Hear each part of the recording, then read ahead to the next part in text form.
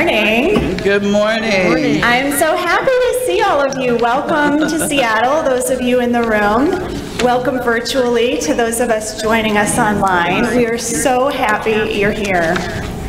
I'm Teri DeVoe with IMLS. Is that right? And um, we just are so pleased that we continue to have this opportunity to bring everybody together from the states and have this ongoing training. It is an investment. Um, We continue to feel that it's worthwhile, and our current leadership also feels that it's worthwhile, and we hope that's the case for a long time to come. Um, But we don't take it for granted, and having you here is such a joy.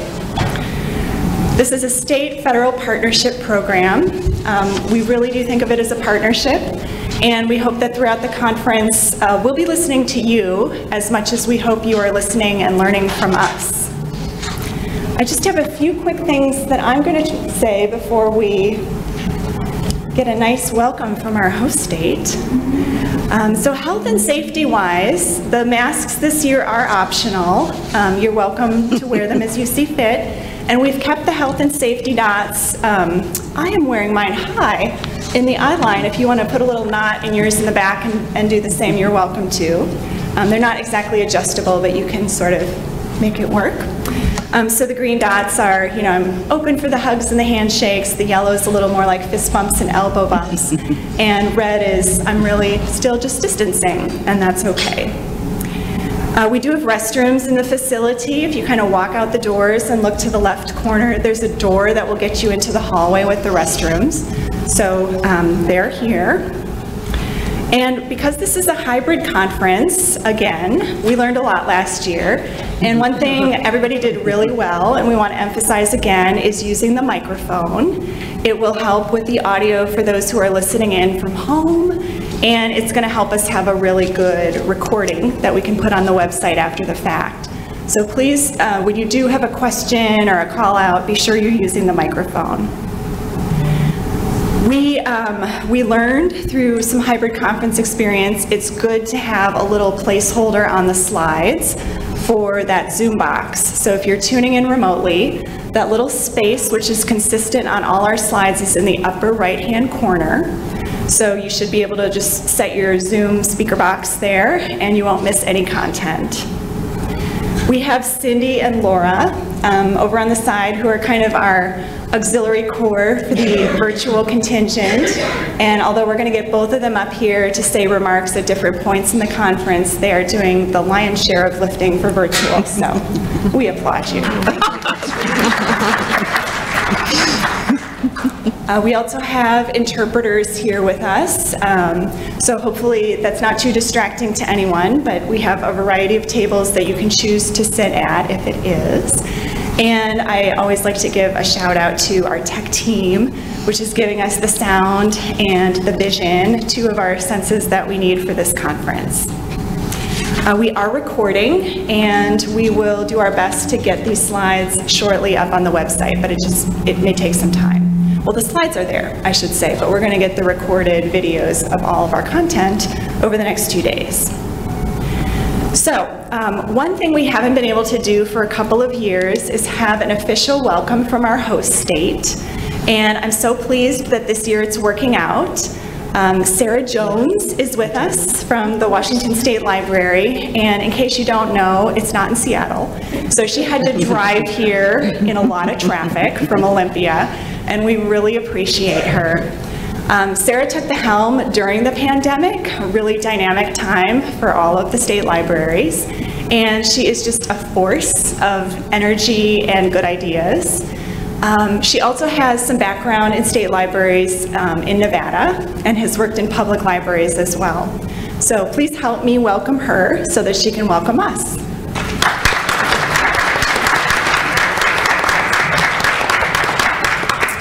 Thank you. It's wonderful to be here, and um, I want to take credit for this weather, so I will.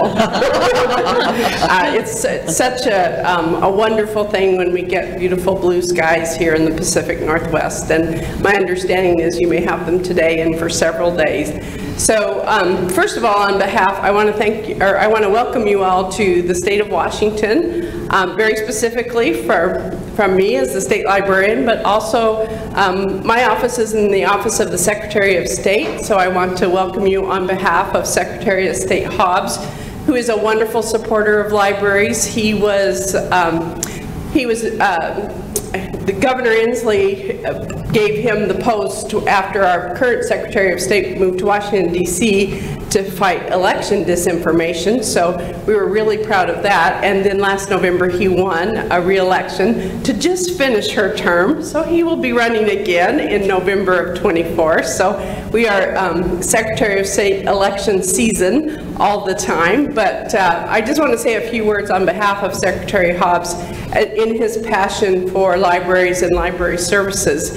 Uh, Secretary Hobbs is the first uh, person of color to hold the office of the Secretary of State in the state of Washington. He's Japanese American, and he's a true believer in libraries. One of the things that he will, a story that he will often tell is he grew up in the Pacific Northwest, and as a young person, his, he was in a single parent um, home, single mother, and the library was his sanctuary. And one of the things he did in that sanctuary was play Dungeons and Dragons. And he had great support from the library there and the librarians, and it was the place where he felt safe and able to express himself.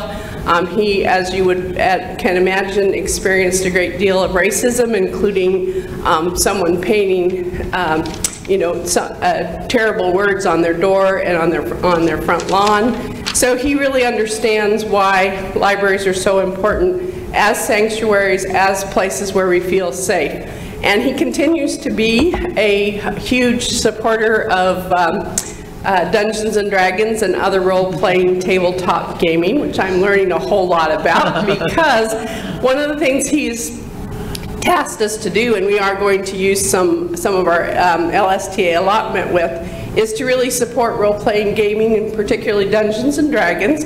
So you're in the home of Dungeons and Dragons. Wizards of the Coast is here in the state of Washington. Love it. And Dungeons and Dragons, for those of you that are players or no players, is will be celebrating its 50th anniversary um, in 2024. So this very week, we are going to um, the Washington Library Association Conference in Wenatchee which is the Apple capital of the world, if you didn't know that. And uh, we are going to have a session on why uh, role-playing gaming is really important for all kinds of social emotional reasons, collaboration, 21st century skills. And then in an after dark session, we're going to play um, a, we're going to play a game and have people watch people playing that game. And the whole idea is that we're going to support um, gaming in libraries with some resources, particularly the games themselves, but also helping people with, um, you know, finding, you know, experts in their area to support that gaming. But there's a really important part of this in addition to it just being in libraries and in the safe space of libraries.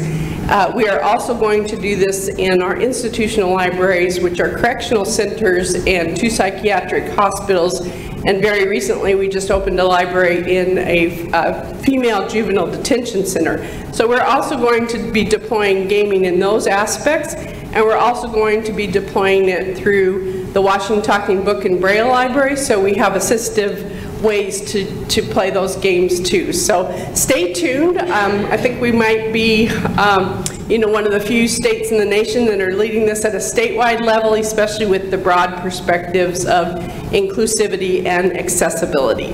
So I wanted, I think that that's an important part of knowing that how lucky I am to be in a state agency that is so supportive of our work as it is and, has, and as it can be. So the other thing I wanted to tell you is that uh, I heard this wonderful story, and since it's um, you know blue sky out there, I can tell it because I I hate to tell it when it's dreary and dark and cloudy because you wouldn't know what I'm talking about.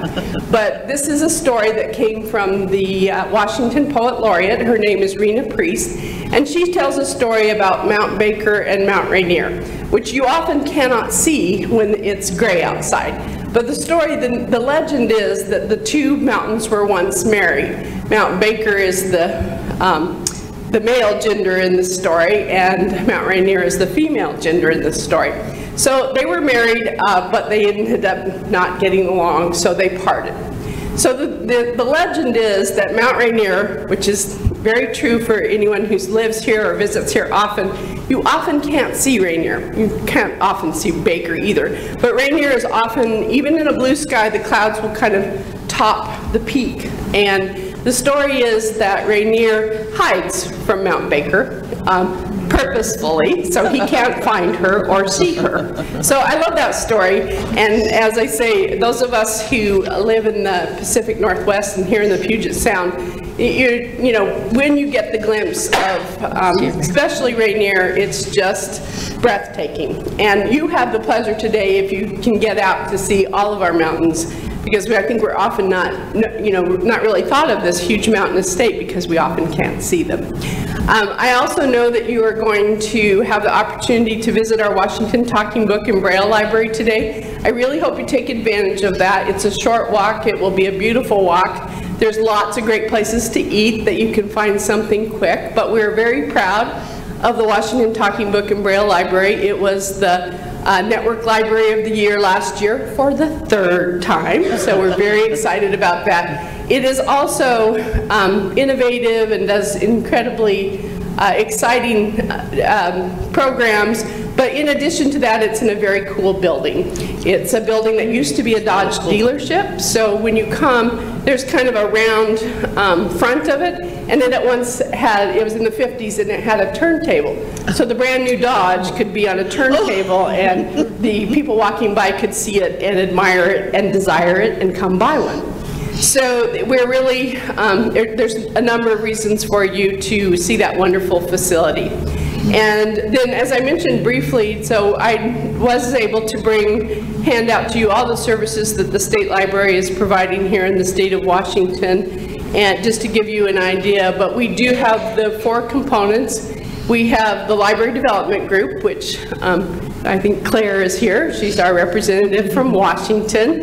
And the Library Development Group, as you know, does the work that you're all here to talk about. I'm really proud of them. They do excellent work. They've been incredibly committed to um, really doubling down, especially during the pandemic, to make sure that our libraries are served. And I think most importantly, as all of us, I came from the public library world just most recently, what we needed in the pandemic was flexibility. So oh, a huge thanks to IMLS for both the CARES and the ARPA funding, funding because that did give us that flexibility so we could meet libraries where they were. So for many of our libraries, you know, it's because we have very large libraries like the King County system, King County Library System and Seattle Public, and we have very small libraries in the most rural components of our state. So as you can imagine, the things that we supported were had that broad breadth. So for King County, we supported lockers, excuse me, so people could come get their resources. And in um, rural Stevens County, great deal of support for Wi-Fi hotspots, which were really, um, and still are unfortunately, some of the only ways people can get connected to the internet in that part of our state. So library development does a lot of exciting work. We also have pretty important um, state funding that supports our work too. We are in legislative session right now, and we just found out yesterday that our funding for uh, a program that uh, uh, supports Microsoft certification, LinkedIn Learning, including lynda.com, uh, that has been funded by the governor's budget, the Senate, the House, and it's been recommended for ongoing. So we have been getting it one shot since 2013, but if we get it ongoing, then it will be permanently in our base budget. We are also getting significantly more resources for institutional libraries, which I mentioned is the uh, the program where we support, uh, we have 12 facilities in uh, correctional centers, psychiatric hospitals, and recently a juvenile detention center, and we're hoping to add the other um, center that is for young men. So we're really proud of that. Um, if you are looking towards uh, making sure that, that library work is equitable. Providing libraries for incarcerated individuals, I think, is really incredibly important in that work. I think we're getting more and more aware. One of the things that I think is less aware than people would know is 95% of people who are incarcerated will return, will leave incarceration, and will come to society. And it's a very, very difficult path for those folks to come in and find jobs and find ways to uh, really thrive in the society. So one of the things that we have that's a really important partnership is the fact that our local libraries partner with us and we can get someone the local library card as they're being released from their incarceration so that hopefully they can find that same library services that they had um, in their uh, institution. So we're excited about that. And also, I can't not mention anywhere, we are hiring. We have about 10 positions open um, in the, uh, in the ILS system. So if you know anyone that would like to have, um, you know, really an impactful career, um, there, there are both librarian positions and paraprofessional positions, and they're located all throughout the state. And then, so I think I've covered them, library development, institutional libraries, the Talking Book and Braille Library, and our wonderful library development group. And I just want to end with a huge thank you for all the work that you do. Um, I, as Teri's mentioned, I've been in and about uh, this work either as a second time as a state librarian, but always um, finding uh, both Library Services and Technology Act, and I've been able to be a principal investigator for several Laura Bush grants, and this money makes such a difference. I think the part that I always feel so strongly about is it's not enough to do something completely, but it's almost always enough to leverage the other resources, the, the local resources, the state resources, the philanthropy to get really spectacular things done. So thank you on, on behalf of the Washington State Library and welcome to Washington.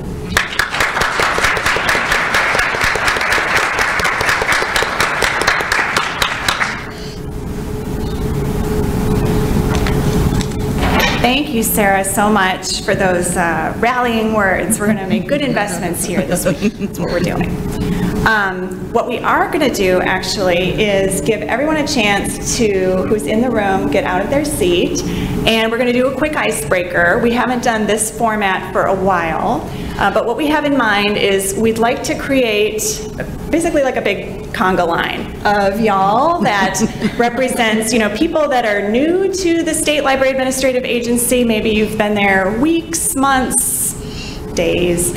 And on this end of the spectrum, you've been there decades. So um, everybody can line up in the room. Those of you who are online, um, you're going to chat into the box, you know, your name, your state, um, how long you've been in the state library, and your role. And once we get people in the room lined up, then we'll pass the mic and they can sort of do the same. And then we'll hear from Cindy and Laura as sort of a wrap up as to who's with us virtually. So, you got a few minutes to get yourselves organized here in the room and go. I'm gonna- All right, Laura, kick us off. Hi, I'm Laura Hicks. I'm the State Data Coordinator in Maryland, and I am the backup to our State Grants Coordinator. And I've been with the Maryland State Library for seven weeks. Oh my God. Good morning, everyone. I'm Jeff Regensberger with the State Library of Ohio. I'm a library consultant and LSTA coordinator, and I've been with the State Library of Ohio for seven months. Woohoo! Good job! I'm Talela Florco, and I'm from Idaho. I've been in the position for 13 and a half months, and I'm the Grants and Contracts Officer.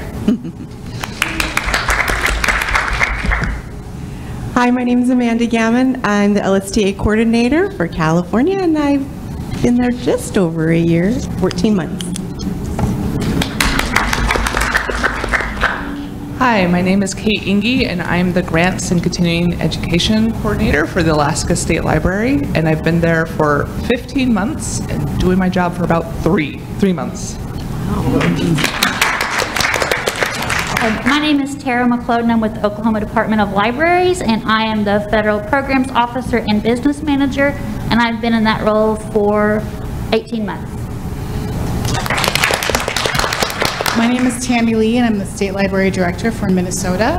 Um, I've been in my job for about a year and a half, um, and I have a very sad sack story about uh, really desiring an LSTA coordinator and not being able to have one.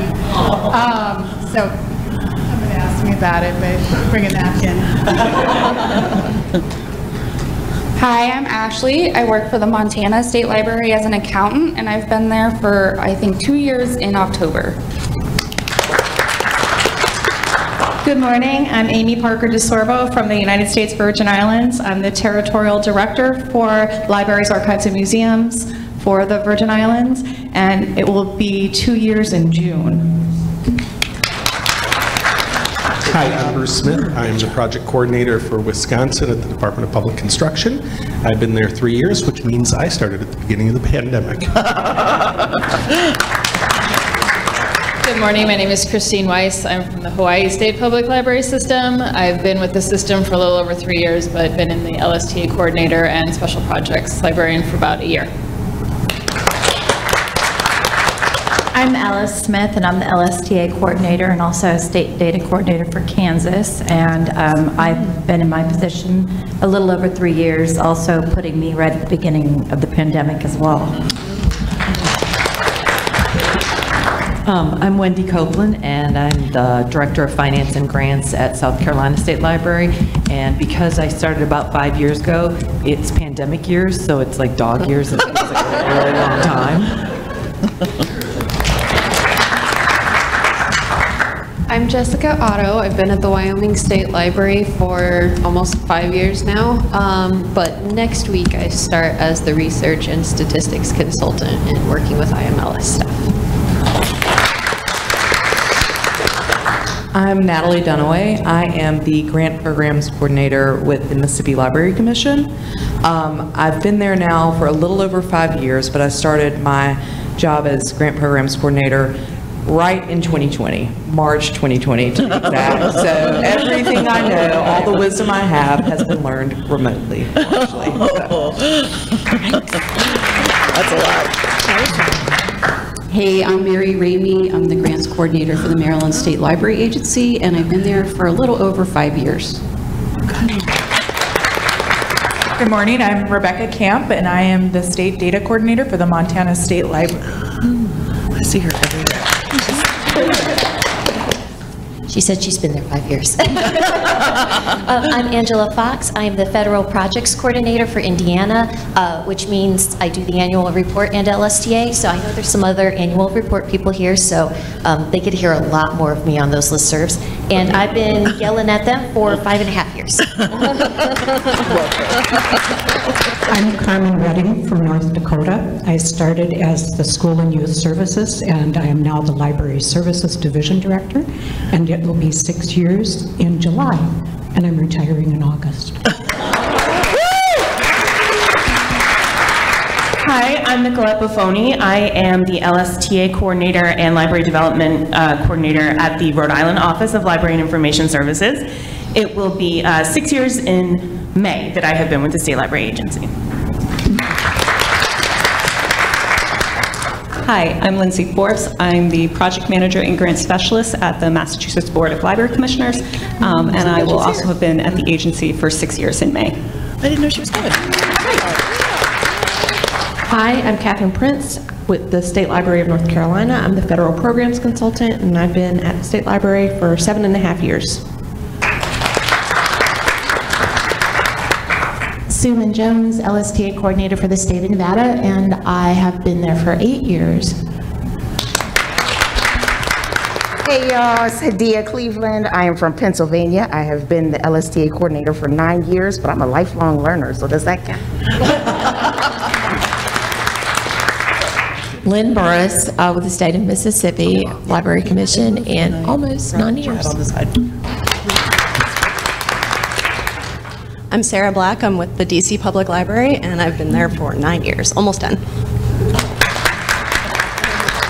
Morning, I'm Terry Blauvelt. I'm from Missouri, and I've been with the Secretary of State's office for 20 and a half years, but with the State Library, which is a part of the Secretary of State's office, for almost 10.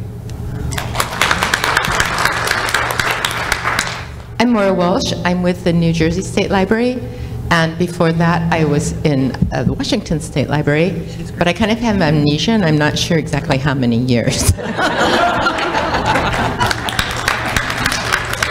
Uh, I'm Claire Mamura, and I took over Mara's job at the Washington State Library six months ago, but I had been at the Alaska State Library before that for 11 years total.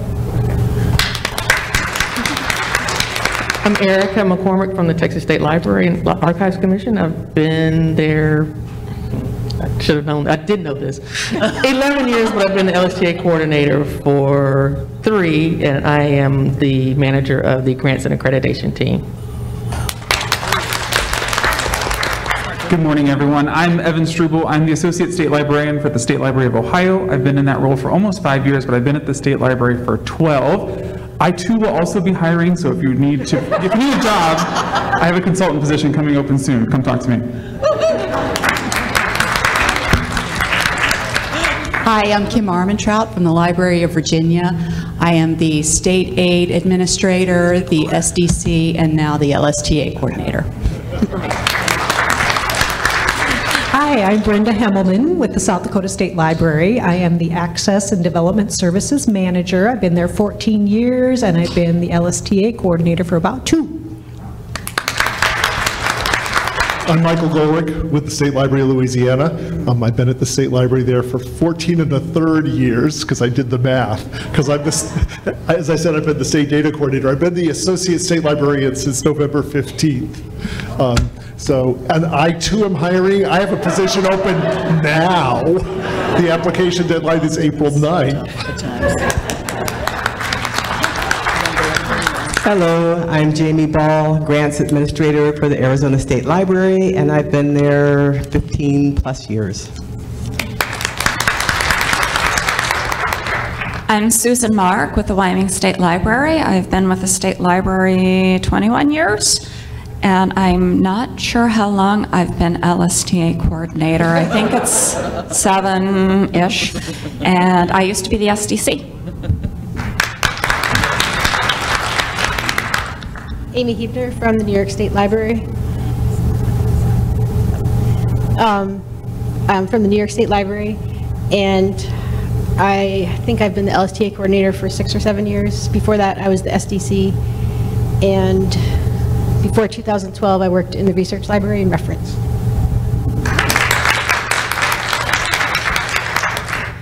I'm Karren Reish from the Library of Michigan, and that does sound familiar. I started as one of the research librarians for the legislature in 1999, so I've been there for 24 years. 19, the LSTA coordinator, and I'm also the grants coordinator, and I'm also the school library consultant. I'm Jennifer Cowan Henderson. I'm at the Tennessee State Library and Archives. I have been there for 25 and a half years. I've worked with LSTA for about 10 years, but been the coordinator for the past three, and I do a lot of things. I'm Debbie Hall from the Arkansas State Library. I'm manager of grants, and I have been there for 37 years, 22 of which has been LSTA coordinator. Hi, good morning. My name is Hector Reillo. Um, Operation two years, Operation Manager um, Service Program, Library Service Pro Program um, in Puerto Rico Department of, of Education, and one month coordinator, and two, no, two year development. Thank Thank you, everybody. All right, everybody in the room can like make their way back to their seats. Thank you so much. What a demonstration of the vast institutional knowledge we have here. So be sure that you grab some before the end of the two days. And now we're going to um, beam over to our virtual set and hear from um, Cindy briefly, who's in the room. So we have, I didn't realize this mic was hot the whole time, though, so I don't know what I just said for the last 37 minutes, and y'all heard all that. Um, so we have about 22 folks in the virtual room, and some of you have a real fan club. Come see you later, or I will find you. Um, we have a lot of folks in the two to five year range, which is um, not not surprising. Um, we have uh, Lauren um, 10 months, or uh, Amy in Florida, 22 years. Sam from Nebraska, 14 years. Jean in Colorado, 18 years. Um, Brenda in Iowa, one year. Um, New Mexico has a new coordinator who's been there nine months. Um, but Karen Egan, God bless her, 29 years. She wins the virtual raffle. That's it. So thanks, everybody. All right. Thank you all so much. Um, I'm going to wrap up this section with a little bit of IMLS overview. It's kind of like the flotsam and jetsam that we didn't fit into other sessions, so you're going to get it all here. But um, just by way of saying um, welcome again, um, you know, we welcome you aboard the Grants to States bus. And this bus is full of some wonderful, fun, kind, responsive federal folks, public servants um, that I have the pleasure of working with every day. And we are lucky enough to work with you in our work, and that makes our work worthwhile. Um, there's room on this bus for a friend or 50, so hop aboard. And, uh, you know, the next two days will be a fun time of learning and collaboration. Um, we have some program updates and conference notes to share with you. So this is going to be kind of a flyby. Last year's conference theme was news when we were in Baltimore, and I, I think it's safe to say like this was the newsiest year we've ever had in the program. You were all finishing up your stimulus funds, you were doing five-year planning activities, and we've spent the last nine months trying to elevate all that work in our various communications channels. I won't belabor it here, but you can check it out. And, um, and I do want to say that we have two of our own communications colleagues with us this conference, Erica and Dan, and they're actually going to be doing short interviews with some of you. You know who you are, and that's going to be upstairs. And we hope to take little sound bites from those interviews and feature them on our social media. So this is the first time we're trying that, and we're pretty excited. We have, in other news, reached a very important milestone in our statute, which locks in a base of $1 million for states and $100,000 for territories. Um, it's due to the very large program bump that we got this year in our overall program budget. So um, congratulations to all of you for doing great work and reminding Congress that it's important, um, important work and worthy of getting more money. Not all news in Grants to States is positive and happy, so let me bring it down for a moment as I have a heart to heart with you about extensions. So we've had a number of extensions the last few years owing to um, the stimulus funds and supply chain issues and all kinds of other things that were outside of your control. And we've tried to be very flexible and very accommodating, and we've given a lot of extensions. So at this point, we're kind of back, getting back to normal order. You're going to have your normal allotment every year. You're probably going to have two grants that you're administering at any given time. We think that scenario usually gives states enough flexibility to accommodate those strange things that are happening with their money. And so we'd really like to rein in all the extensions. So as 20, fiscal 2022 is coming to an end and you're going to be reporting on it, you know, it will end in September and you'll be reporting on it thereafter. If you're sensing that you're having the same kind of issues coming up into fiscal 2022, just think creatively about could you use your fiscal 23 money and, and sort of work through some of that. It's not that we're not going to grant extensions. It's just that they're going to have a really high bar. And we always have to escalate those up to other offices in our agency. And so they're going to want to see the evidence that this was truly outside of your control.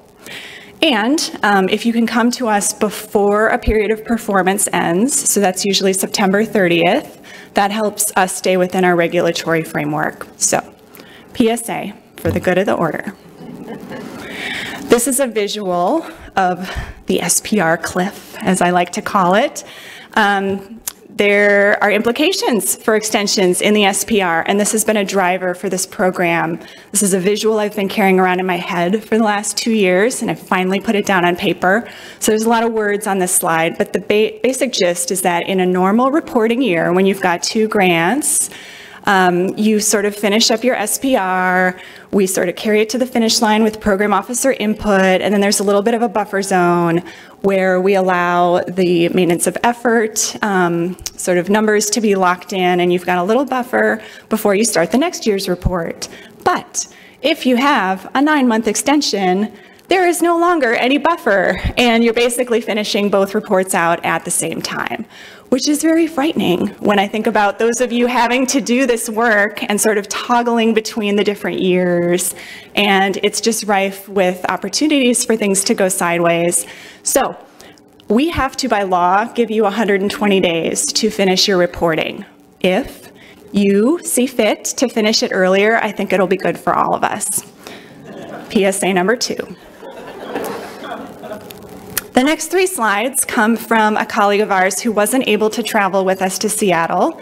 She's our Director of um, Grants Policy and Management, Connie Bodner, and she's been helping us sort of go through some of these changes at the government level that are affecting all of us this year. So I'm not going to belabor these three slides because they're here if you want to revisit them, but I've got kind of a soundbite for each one of them. With the unique entity identifier, which was the changeover that the SAM.gov system implemented last year for the first time, it's been a rocky first year. We all recognize that.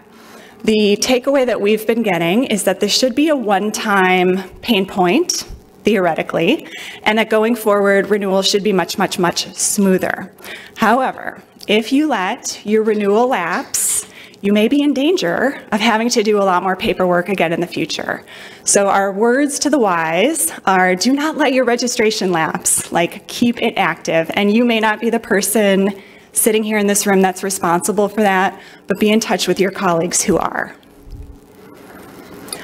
Login.gov is a system of um, authentication for different government systems, and we have implemented it this year for our EGMS system, which is our electronic grants management system. We haven't had a lot of feedback about how this is going from the states, so if you've experienced any pain points, we'd be interested in hearing from you about it. And there's some resources on this slide that can help if you have been in that position of having some issues. We want you to get paid when you get the grant money. And so our colleague has laid out a number of um, you know, pitfalls that we run into that prevent us from making your payments to you quickly. And again, we may have a few people in the room that are responsible for requesting drawdown payments from IMLS, but if this is not you, make sure that your fiscal counterparts get access to this information. Um, the one thing I want to highlight here is in sort of an internal review of how much people are asking to draw down funds. Uh, we've seen that some states and some entities ask for multiple amounts of money in any given month. And if it's possible to consolidate that to maybe two draws a month, that would make our work a lot easier. So we humbly beseech you to tighten that up if possible. Some of you know about limited English proficiency. Some of you may not and wonder what we're talking about here. This is a policy requirement of the program. It often comes up around the time that we make site visits because it's on our site visit checklist and we start asking you if you have a policy for it. This is just to say that we've heard from our legal counterparts at IMLS who have heard from our Department of Justice counterparts in the federal government that there are changes coming to this policy, which is government-wide, and that as soon as we get more information, we will roll it out to you. We're going to again partner with COSLA on the National Book Festival. Some of you in the room are the people that travel to Washington, D.C. for this, and some of you are not. Um, but we have heard that the date is going to be moved earlier this year. Library of Congress has not yet publicly announced this, so if you need, if you are on a need-to-know basis, you can track down me or Dennis, and we can tell you, but I'm not going to proclaim it publicly until they do. Um, we are thinking this year that we're going to give an additional about $1,000 per state, which will enable there to be perhaps local events that sort of hearken to the National Book Festival in your area. And these would take advantage of the great reads books that are picked by each state to be featured at the National Book Festival. And they would allow you to, you know, tie them into the National Book Festival, acknowledge IMLS with funding, and sort of have that footprint of National Book Festivalness in your community. If you're hearing all this and saying, wow, that sounds like a lot of work, and we're not cut out for that, that's okay. We think you could also use those funds to offset more travel if you have to send more people or buffer unexpected travel costs. Or if you want to send more exhibit materials to Washington, D.C., maybe you want to print and ship some extra things. But we're going to give you this extra amount of money this year and see how it goes. We've got a great couple of days planned for you. Now we're getting into the conference proper. Um, Just a couple things to highlight on this slide. Um, Our director, Crosby Kemper, will speak to us tomorrow. He's actually in the building, you may see him, but um, he's off doing other, other excursions today and other visits with institutions. But think about questions you may want to ask him tomorrow. We've got 45 minutes with him, and it is probably the last year that he will be with us because he is coming to the end of his tenure with IMLS. So get him now. The optional lunch tour um, at the Talking Book and Braille Library that Sarah so graciously extended to us is something I'm going to walk over to. So if you'd like to join me on my walking excursion, I'll probably stand outside at the registration desk um, at the lunch hour and then I'm going to go because we need like 20 minutes to get over there and I don't want to cut anyone's lunch short. But um, we're very excited about seeing this ex-car dealership facility and all the exciting things it does today. All right, in terms of the logistics, uh, we do have kind of a yellow cover colored survey in your conference packet, should be the last sheet in your paper clipped packet. We take the feedback from this survey really seriously every year and we make iterative improvements to this conference. We also have the conference survey available by URL if you prefer to fill it out that way, or for those of you who are tuning in virtually. We tried two things last year that we're reviving, and they're over on this side of the dais. One is a peer-to-peer appreciation wall. We are going to do formal recognition this afternoon. Um, so some of you have already sourced those People's Choice Awards, and we will formally acknowledge them then. But if you just want to give a shout out to someone who's, you know, helped you find a great lunch eatery or just whatever. You can take the sticky notes at your table, write a little piece of appreciation and stick it on the appreciation wall, and we will revisit those at the end of tomorrow. We also have a parking lot for sessions like this where I'm just trying to cram everything in and we don't have time for questions. So if you have questions that remain unanswered that you would like us to address tomorrow morning, stick them on the parking lot and we will sort of have a, a grab bag of questions that we can answer tomorrow morning. We have a dine around sheet on this side of the room. So if you're looking to have a dinner out with some of the fabulous people in this room, but you don't know where to start, we've got several restaurants identified. Thank you, Dennis, who vetted these restaurants. Um, one in particular, Wild Ginger, I've heard is an excellent Thai restaurant. Um, so just sign yourself up in a slot, and then after the conference is over, you may want to connect yourselves, figure out when you're dining, whether you need a reservation, etc. Um, if you're drowning in our acronyms, I'm sorry.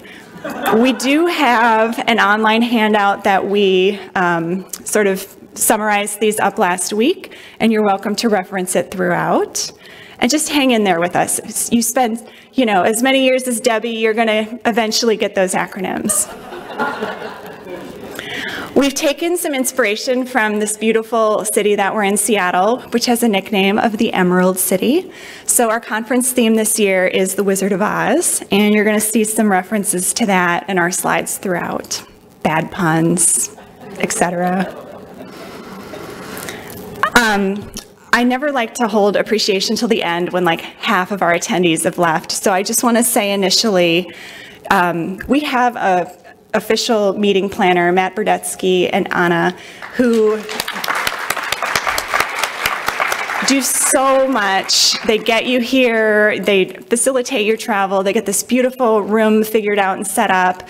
They handle the beautiful recording with um, experts from our tech and audio team, and we just could not do these conferences without them. We've got, again, interpreters and tech staff who are our silent um, auxiliary corps. We so appreciate you. Um, we co-host this conference with IMLS staff from the Office of Research and Evaluation, and we will be introducing our IMLS selves to you throughout the program. But to suffice it to say that Matt and Emily are true partners in this, and uh, we could not do this conference without their help. We, yeah. We have um, a new colleague we're going to introduce to you this afternoon as we think about support for the SPR. We've always got support from our Office of Chief Information Officer staff. Um, Again, we've got Office of Communications staff here, and of course, you, who have taken your time to be in this room, and my colleagues, the Grants to State staff. Mean, you guys make this conference the wonderful thing that it is, and we're so excited about the next two days.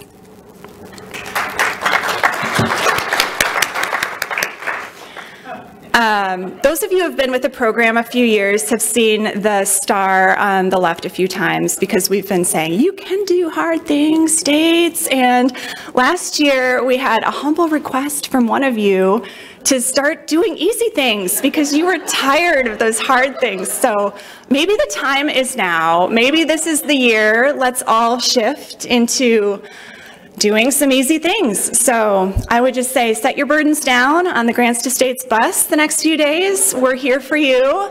We get to lean on each other and, uh, and let's go forward and do some easy things together. Thank you. All right. We took a few extra minutes from that session, but I know that Emily's a pro and will catch us right up for our break.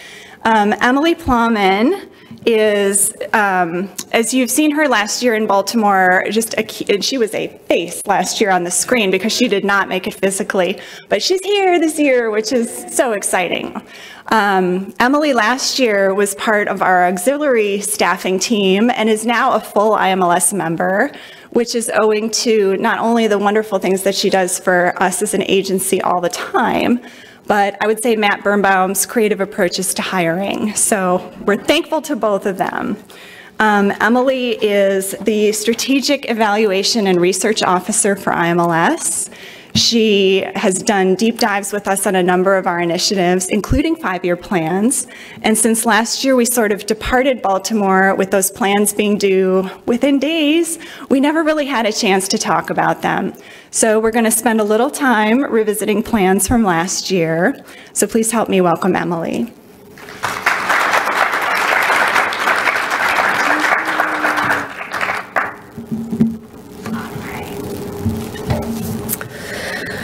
Okay, so I am, Teri, going to catch us up.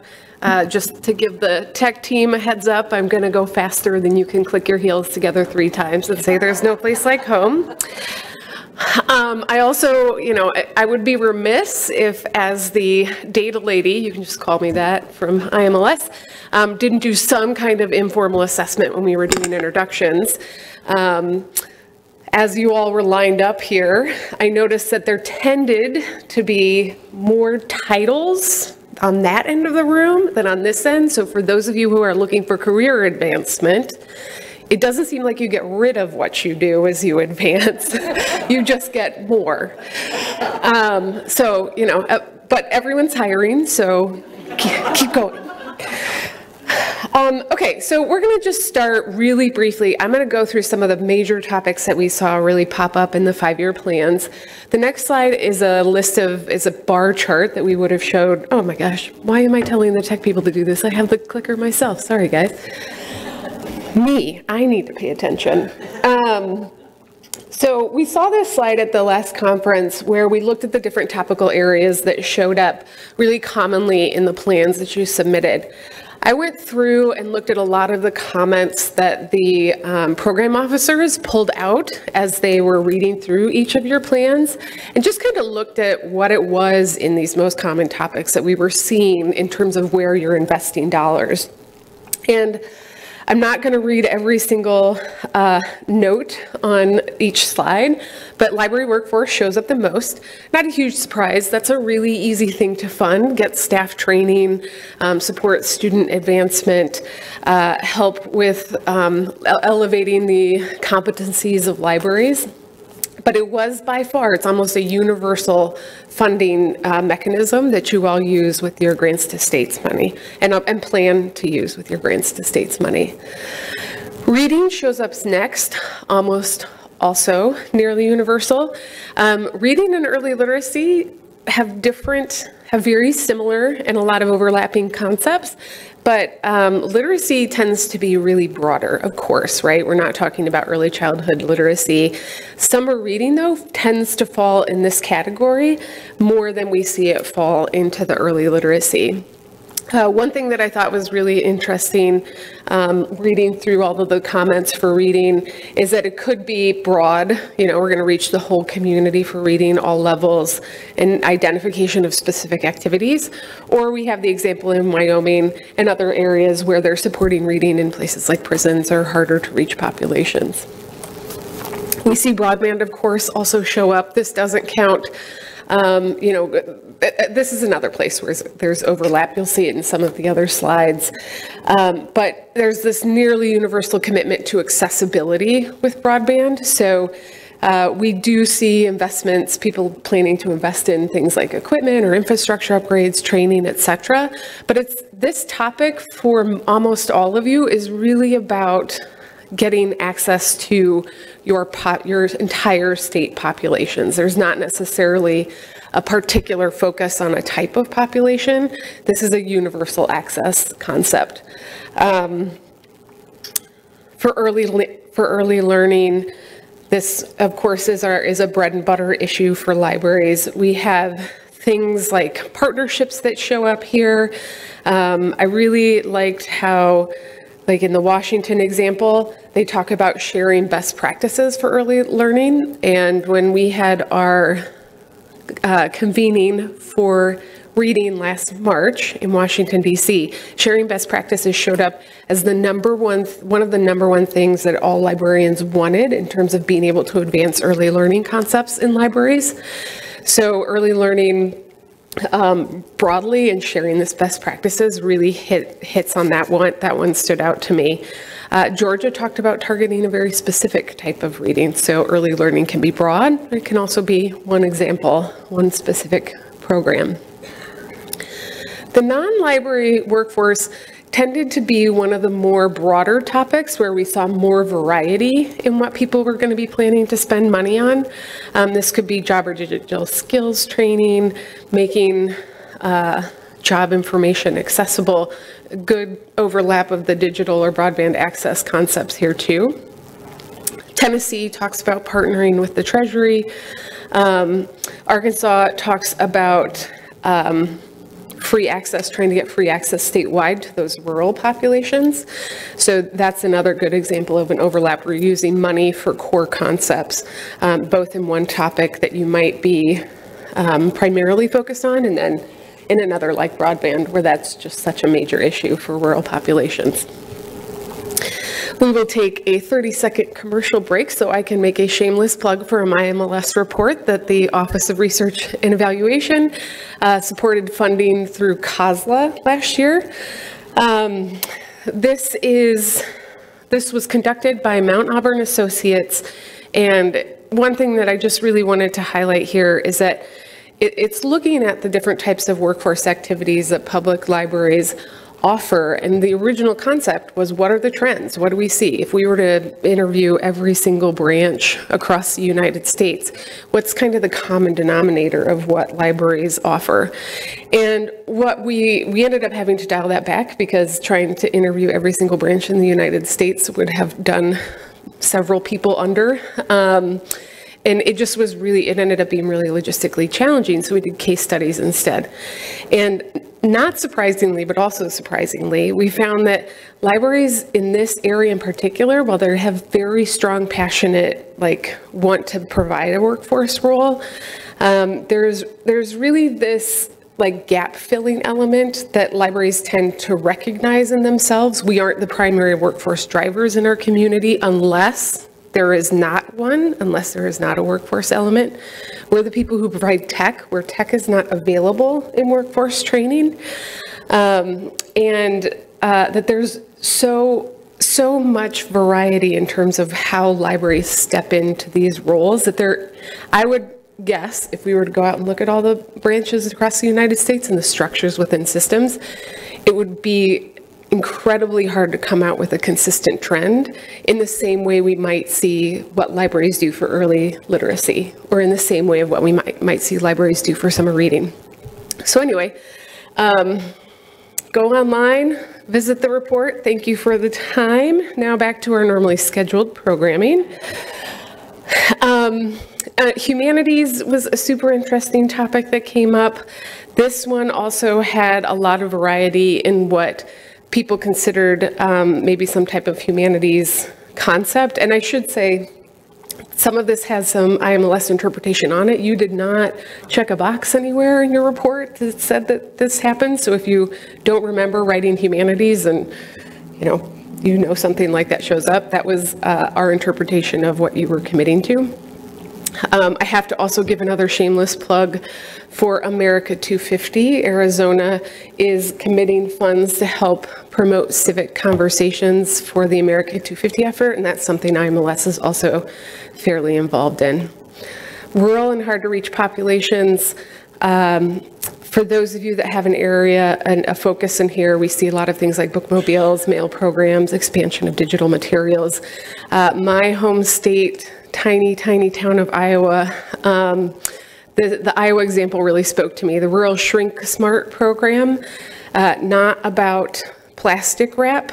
Um, it is about helping small populations uh, plan for their population shrinking, which is really interesting in my mind because a lot of times is how do we keep our communities vital, but how do you actually anticipate kind of this outflow within your community? So I had to throw that in there. Okay, so that was very fast. Uh, thank you to the translator um, for keeping up with me. Uh, we're going to do about a, a, couple of speed round activities. So you've gotten up and gotten your blood flowing in the room. Um, we are going to do a speed challenge and we're going to keep, we're going to do however many rounds we can get to before we have to go on break.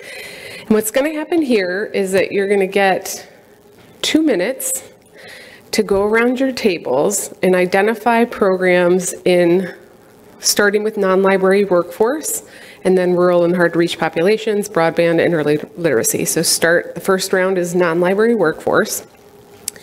And the challenge with this is brevity. So how many programs can you list at your tables in a two minute time period? So you need a counter. And then you get 30 seconds to identify what you think might be the most unique program. And this is going to be hard because I've intentionally not defined unique.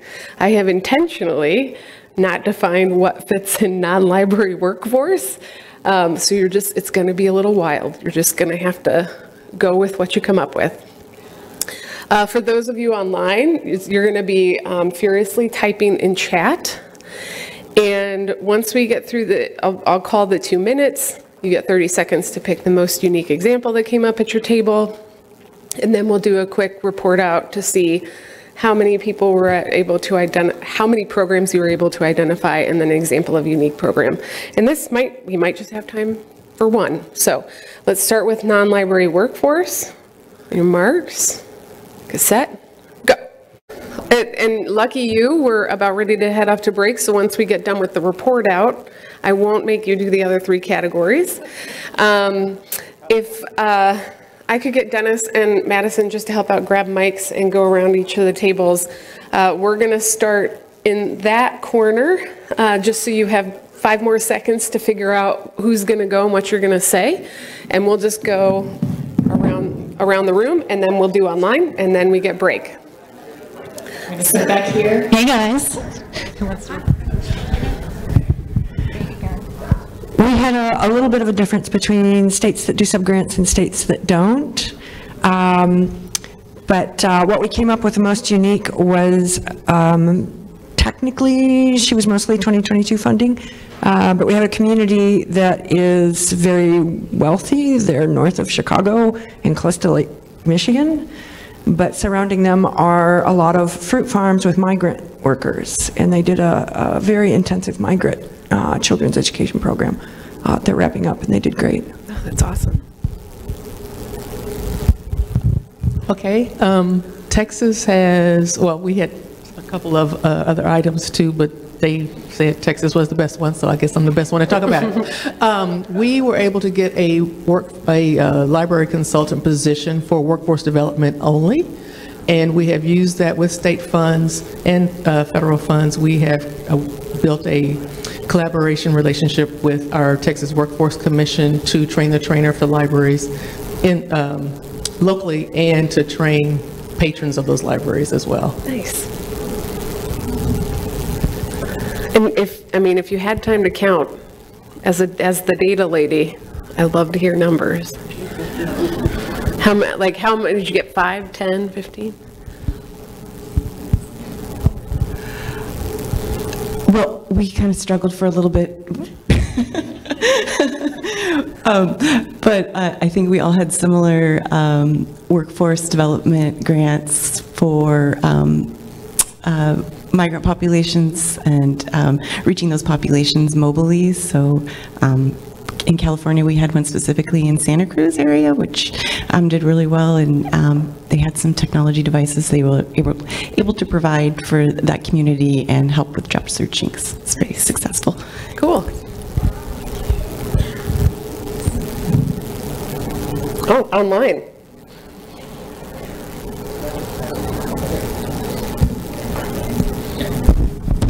Well, that was fun, let me tell you. Um, We had a lot of, um, thank you, Uh, we had some really interesting thoughts um, and projects, but we landed on um, re-entry resources, and that was out of Nebraska. I'm seeing a theme start to emerge here. Over here. All right, um, we didn't get through very many examples before the time was up, so I think we counted maybe four, but there's probably more. Um, and then we decided the most unique was from Washington, yeah, where they have a program for FAFSA. Uh, but uh, maybe you should explain. Uh, Yeah, we have a pilot program right now to increase FAFSA completion in the school districts with the lowest rate of completion currently, and it's uh, grants to libraries to partner with community-based organizations to increase that completion rate in their community. Very cool. Dennis, you want to go with this table? Uh, Thank you. Um, At our table, we talked about a, um, a program in Ohio where a library was using grant funds uh, to pilot a program where they're using virtual reality headsets to do uh, skills training and trades training for, uh, for people. that are working with a company that could use the, the headsets to do traditional training, but use a virtual reality model, which we think could be, could be something that could be big. That's cool. Over here? So we talked about, I think we had maybe like five or six just in general, uh, we were talking about. Uh, One of the things that um, we talked about was um, the database that we have is like the Job and Career Accelerator that we put out there that uses um, state and federal funds. And then Natalie here, it happened to be this morning, uh, she got an email from one of our sub-grants where they did a senior graduation for one of their computer programs. Oh, So she's got the pretty picture where they have all their graduation stuff, so. Senior, like, over? Well, it's for computers, it was computer learning, so yes, was it older? Yeah, senior citizens. Senior citizens, that's yeah, so it was, the- she got the pictures actually today, so it was oh. interesting.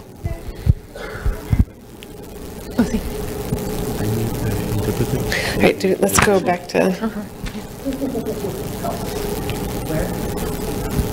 Have they done it? No, they haven't, okay. Okay, so we came up with about five databases, learning platforms, senior digital literacy hotspot lending, you know, all that good stuff. Uh, And our unique, which it isn't because Ohio's doing it, uh, project was um, VR for teens so that the teens can uh, practice with different tools and so forth and, um, you know, practice interviewing virtually. So that was our project. Cool, thank you, Jamie. All right, we have over here, Hector. Ah, Hi. O bueno- buenos días. Puerto Rico, en el Departamento de Educación, tiene un proyecto de lectura desde que comenzó la pandemia, impactando alrededor de un 20% de los estudiantes de eh, bajos recursos, rez- rezago académico. Uh, Good morning, Puerto Rico Department of Education. Since the pandemic, we have a reading pro- program that has impacted 20% of students, low-income students.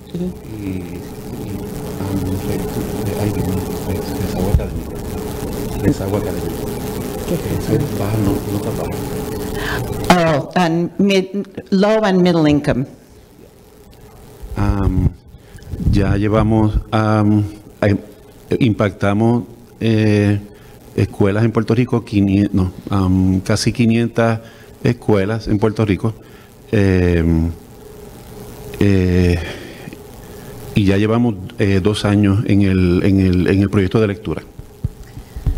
So we've had the uh, reader, the reading program for or project for about two years, and it has had an impact o- on over 500 schools in Puerto Rico. Wow, that's great. Thank you. Gracias. Let's do. So we had maybe four ideas at our table, and um, North Carolina and Missouri actually have the same program going on. We are partnering with different people. Um, So working with um, Excel High School, which will, um, uh, once students go through the program, they will grant a high school equivalent diploma as opposed to a GED. Um, Missouri is partnering with their Department of Education. North Carolina, we're partnering with Department of Corrections to get justice-involved individ- individuals as they come out of the system to help them get their degrees. Wonderful, thank you. I think we have two Hello. tables left. Hello. Okay, I found the website. So um, Pennsylvania is has a thing called Skill Up PA, and I'm going to read it to you. It says Skill Up PA is designed to help the Commonwealth build with a workforce ecosystem that supports positive economic development. Job seekers can explore career pathways, view local job postings, and register for free online learning and receive workforce services. So these, are, so this is all in all Pennsylvania libraries as well as with other um, other air in Pennsylvania to try to build up the workforce. It is partnering with Career Link, Career Link, and it is a state initiative. And we came up with six other things. Okay, wonderful, thank you. And I think this is our last table. Did we miss anyone else?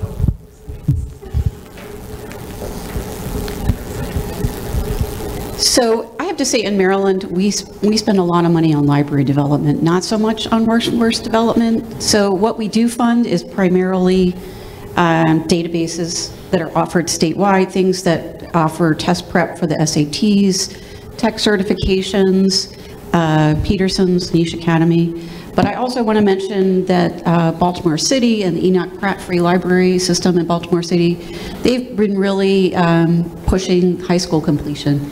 And that's one of the big programs that has been most successful in Maryland. Thank you. Okay, thank you, everybody. Um, I appreciate your willingness to do a speed challenge this early in the morning. Uh, Just as a reminder, deadlines always exist when you work with the federal government. These are your cycle deadlines for coming up with your awards, and um, I know we'll go over them again many times um, between now and eternity. Um, We are going to take a 15-minute break. Thank you for your brevity. We will, that would put us back here right at 10:30.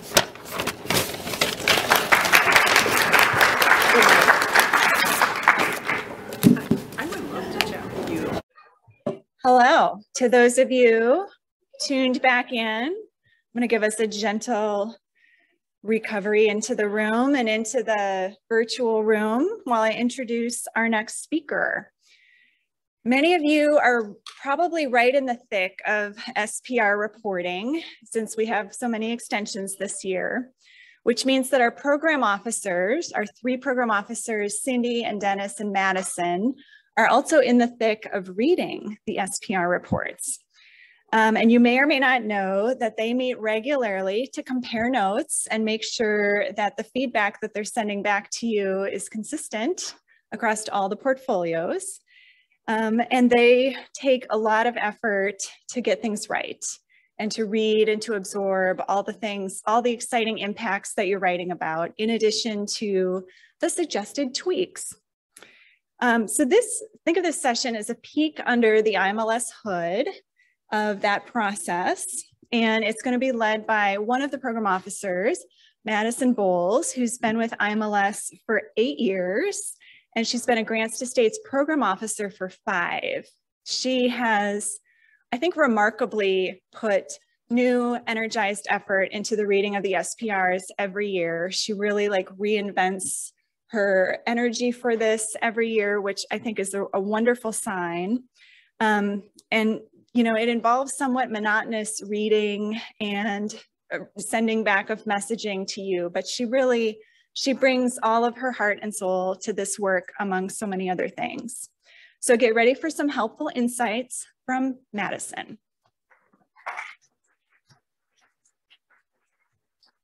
Hi, everybody. Welcome. Great to see all of you. Bienvenidos. Uh, as Teri mentioned, uh, we are slowly, as program officers, looking over the SPR as projects come in. And, and while we typically provide me more mechanical insights um, at our SPR refresher trainings, this one is going to be a little broader in scope and a little more generalized. And overall, what we want to cover is that the SPR is more than just a compliance tool. Uh, and I know some of some of that is the farthest from your mind uh, when you have a looming deadline. Um, but we want you to use the SPR as a demonstration of how you spend your funds and the value that you bring to the Grants to States program. Uh, so we just have a little insight of what we're seeing so far. So overall today, uh, we're going to be talking a little bit of optics. Um, in terms of how your reports are, are viewed and received, uh, general reporting components, allowable costs, which is always an evergreen topic, and the state profile pages that Teri mentioned uh, previously.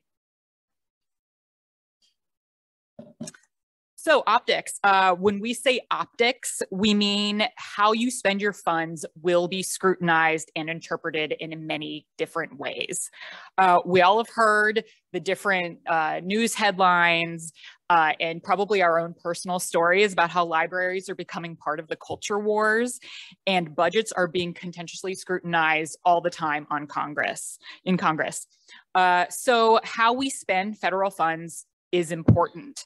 And since our SPR reporting is the record of how we do that, we want to make sure that you convey your reports uh, in a really useful and a valuable way. Uh, I know this sort of feels like uh, Big Brother is watching you, or in the context of the Emerald City, the great and powerful Oz is watching you. Um, but you, as LSTA coordinators, are the ones who are great and powerful, and we know that you can convey the value of the great work that you're already doing.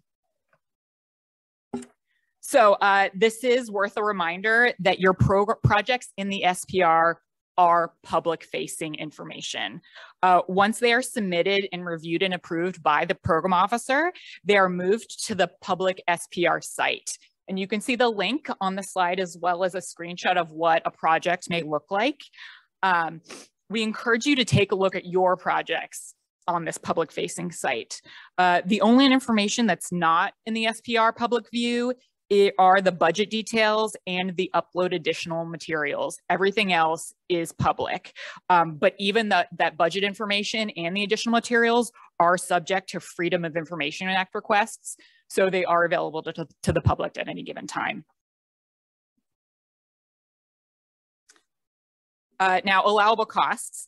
Uh, we get more questions on allowable costs probably than anything. Um, and they are seemingly the most obvious actions in how you spend your funds. Uh, when it comes to optics with allowable costs, uh, context matters. Many of us have already learned uh, that allowable costs rules are never one size fits all. Uh, so it's important to justify the costs in writing when you're formulating your projects and reviewing those subaward applications and make sure that you apply your reasoning consistently across all of your projects, whether it's match or federal funds. Now, here we have a list of components that make up a solid cost justification. Now, in this case, to get to the Emerald City, you have to follow the yellow brick road. and to do that, you must have a solid cost justification. Uh, so the first are program statute and program regulations.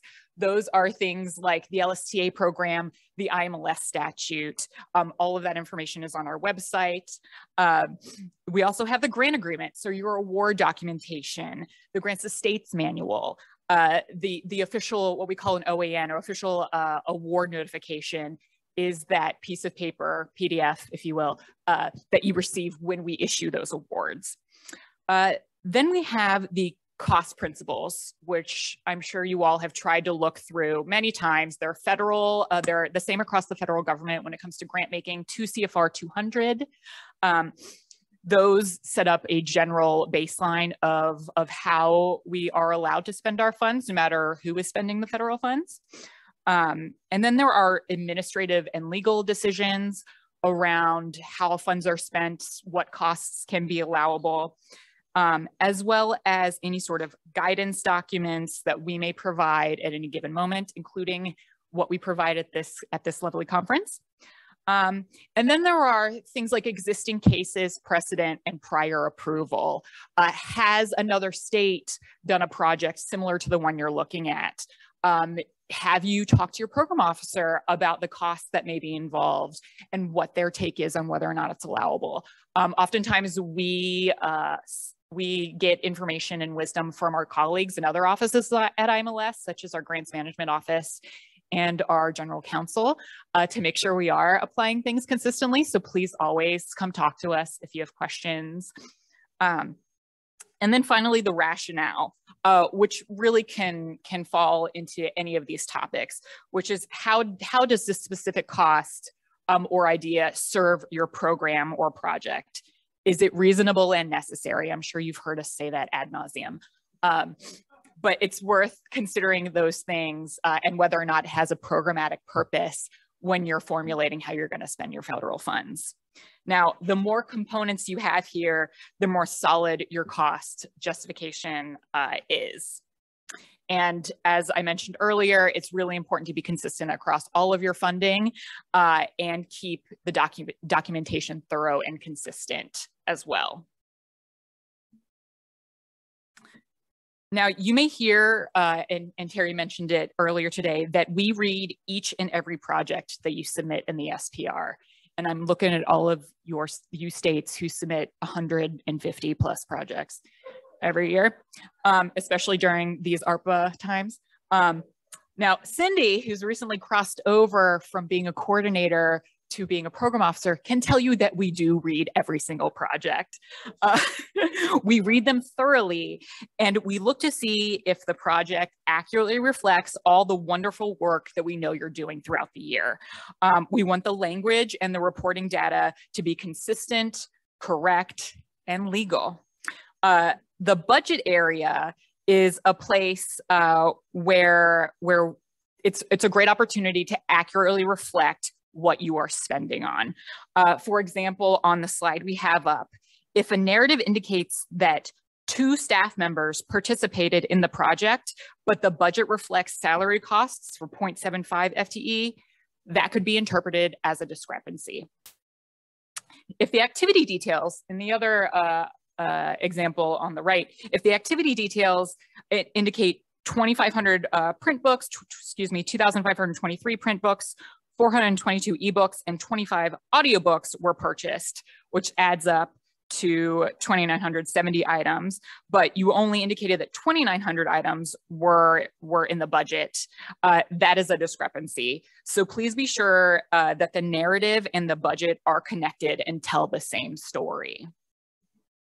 We also would like you to be specific, um, especially with these ARPA projects, we feel you guys on, you don't even know how many masks you bought um, but but using using uh, not descriptive words like other or supplies is not helpful for us or anyone who reads the projects. Uh, but so please uh, be sure to be consistent in terms of what you purchased. So locale data, um, the SPR gives you options for reporting activity locale data. And we want you to understand the implications of these choices that you make, uh, which are, as I mentioned, visible to the public and feed data visualizations on the IMLS website. Ideally speaking, IMLS would prefer to know the name and address of institutions that participated, benefited, attended, et cetera, your projects. And uh, this is the option on the left side of the screen. Uh, we also get requests from Congress to identify projects in a particular area or a congressional district. So this is this more detailed information is really helpful to us when we get those types of requests um, and we pull them right from the SPR. Now, for example, if an SLAA awarded 10 libraries and STA, LSTA funds uh, to support connectivity, you could report this higher level data, excuse me, higher level detail uh, by selecting the name of those 10 institutions in the locale section of the activity. Uh, now, assuming that these institutions are already listed, uh, in the sub subrecipient area of the SPR, and you can always go in and add new ones. Uh, and you don't have to type out the address information every single time. Now, alternatively, we understand that some projects, they may not be statewide, but they do uh, benefit uh, hundreds of libraries in your area. Uh, you can include uh, the number the number next to the institution type. Um, this is illustrated on the right side of the screen, uh, but we want you to know that the higher level of detail in this area can reap the benefits down the line. So project outcomes and lessons learned. Uh, these project outcomes in each project, do you have a question? We'll take questions at the end. Thank you. Thank you, Hadia. Um, project outcomes are the open-ended fields near the end of each project, and they allow you to share lessons learned. Uh, program officers, as we've been reading projects recently, have seen a recent downward trend in filling out the project outcome section. Now, please know that these text boxes, if they are left empty, uh, we have no way of knowing if the SLAs are deliberately omitting information, accidentally including what they're supposed to be typing in there, or maybe the Wicked Witch dropped a house on you. We don't, we have no idea. Uh, uh, but you might, and, and we understand that sometimes these boxes may not be directly applicable to the project at hand. Um, however, you might be able to glean some content to fill in there uh, from your subrecipient applications, or if it is a statewide project, uh, and it's a solid program. We totally understand, but we can't read minds. We don't know what type of outcomes are coming from these projects. We are not Professor, Mar Professor Marvel. Um, to give another Oz shout out. Uh, so please put some, some information in these text boxes. It's super helpful for us. Now, Teri already mentioned the state profile page refresh, uh, and many of you collaborated with us to help update these pages.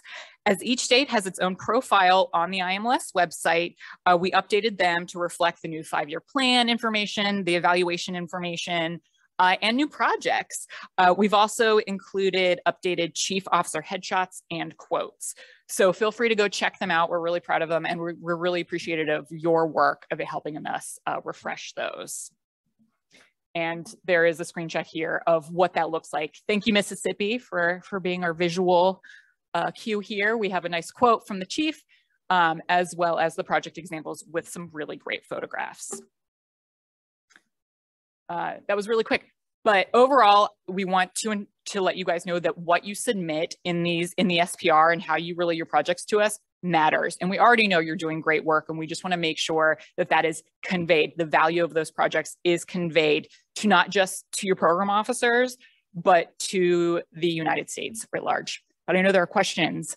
Hey, Dia, do you have a question? Yeah, yeah, yes, please. Is about the attachments. Yes. So my um my folks love sharing using that attachment section, and they almost always attach like the 200 list of folks that participated in their programs Mhm. as an attachment because it's it's just too much. It's capacity. We can't add each one. Is that helpful? Or yeah. We've talked about that, yes, and it is helpful. If if you if it's too laborious to include uh, the locale data in each activity, uh, you can, but you have that list, it exists. You can upload that as an attachment uh, um, in the additional materials section of the project. Uh, we will see it, we will make note of it. Um, thank you for pointing that out. Yes, good job. Madison, I have two questions over here. Great. Okay, great. Um, the second question, I'm going to stick with the attachments. Um, some of this is coming from Rachel Cook in Utah. Some of our additional materials are really impressive or provide helpful context. Will there ever be an option to have them show up public facing? I love that question. And our next session is about the future of the SPR. So we're gonna we're gonna parking lot that for the next session. Great. Thank, you, Rachel. And our first question, let me scroll back up, is from Karen Egan. Um, she has a question on the locales. When possible, do you want this down to the building level? This is such a Karen Egan question. I love the detail, the attention to detail, Karen Egan. For example, the grant is awarded to Chicago Public Library, which has 81 branches. Um, but the project was only held at a particular branch. So this location lists that branch and the and the address. Question? Oh, we're getting Teri. The SPR uh, preloaded um, PLS data at the system level. So that would be the Chicago Public Library level. So that is sort of our baseline understanding of what you're uploading. If you wanna upload your individual branches, we're not gonna stop you, but it is not required. Thank you, Karen. I don't even know how we're doing on time. All right, no other questions. Uh, thank you all so much. Muchas gracias. All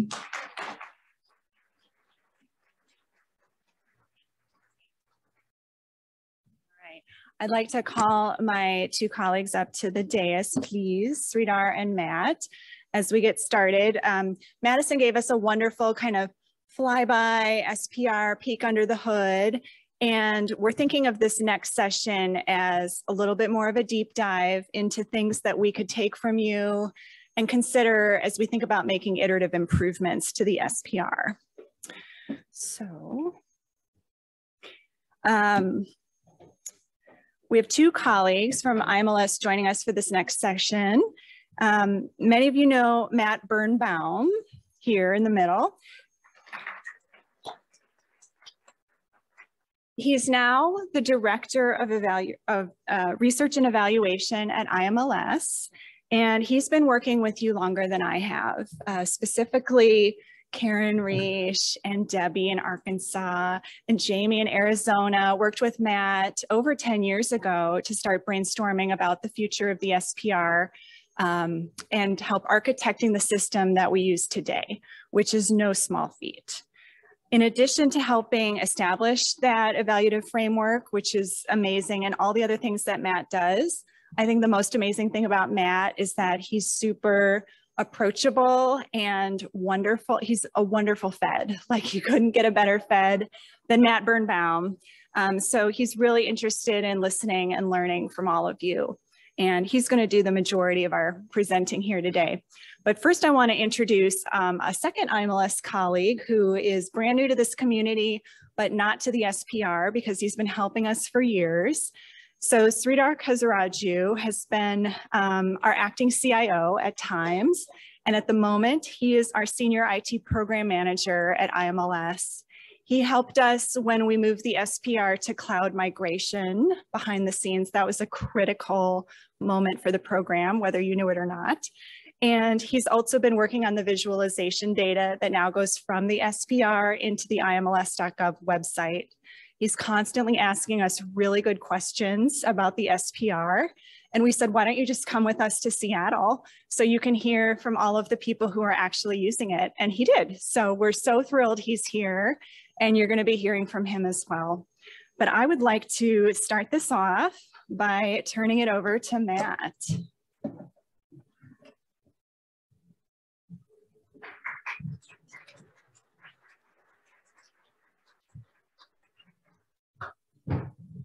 Hi, everybody. It's so wonderful to be here. 13 years ago when I first joined IMLS, there was a, some of you got to be with me in Baltimore, my first meeting. And we started a strategic planning exercise. And the question we wanted to say to ourselves, how, how does a reading program in Michigan compare to one in Mississippi using federal funds? What does that look like? And as we looked what the reporting was like back then, we didn't have the tools to do that. So consequently, we were handicapping ourselves in trying to tell a story about the difference that reading programs make, the ways that they function and vary, things that are similar, and the importance of that little bit of federal dollars to helping make that contribution. So we then spent a bit of time working through, got some, some smart people like Sridhar to uh, help us with the architect, and a lot of you worked with some, some folks who had my skills, and it was a real team collaboration using the expertise of the folks like you in library science, the expertise of the information engineers, and some of the cloudy, vague uh, social science folks like myself to uh, work together and to build out the system.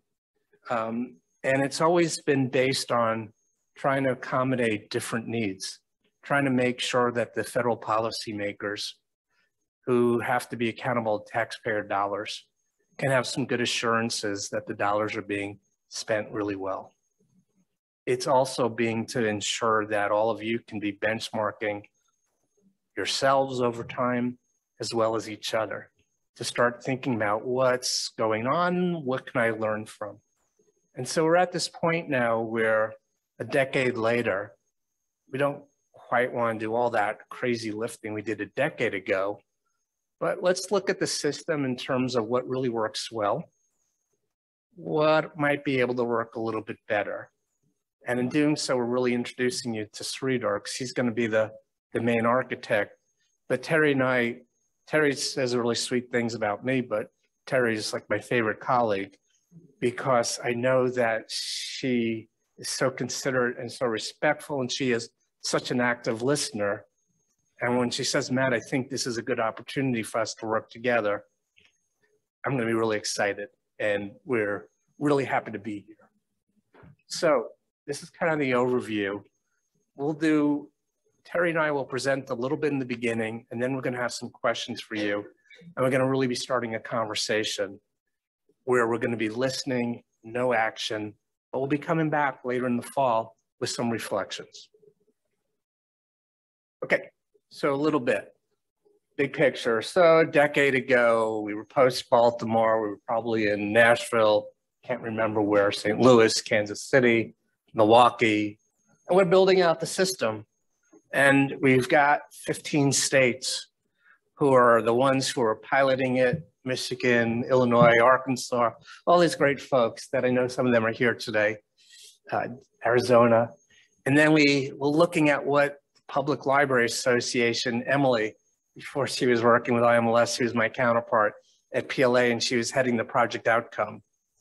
And we started to align our outcome reporting with project outcomes that the public libraries didn't have to do two separate things. It was something identical.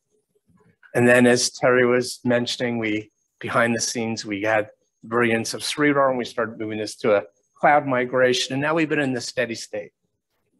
And we've got some really great national data, but what can we do to do a little bit better to make your lives a little bit easier in terms of your compliance work, is also to be able to do some better improvement in learning. So a little bit of an example. Um, here's you know the way we built the system out. We used to tell the stories, and when we were, what the heck does this this grant data do?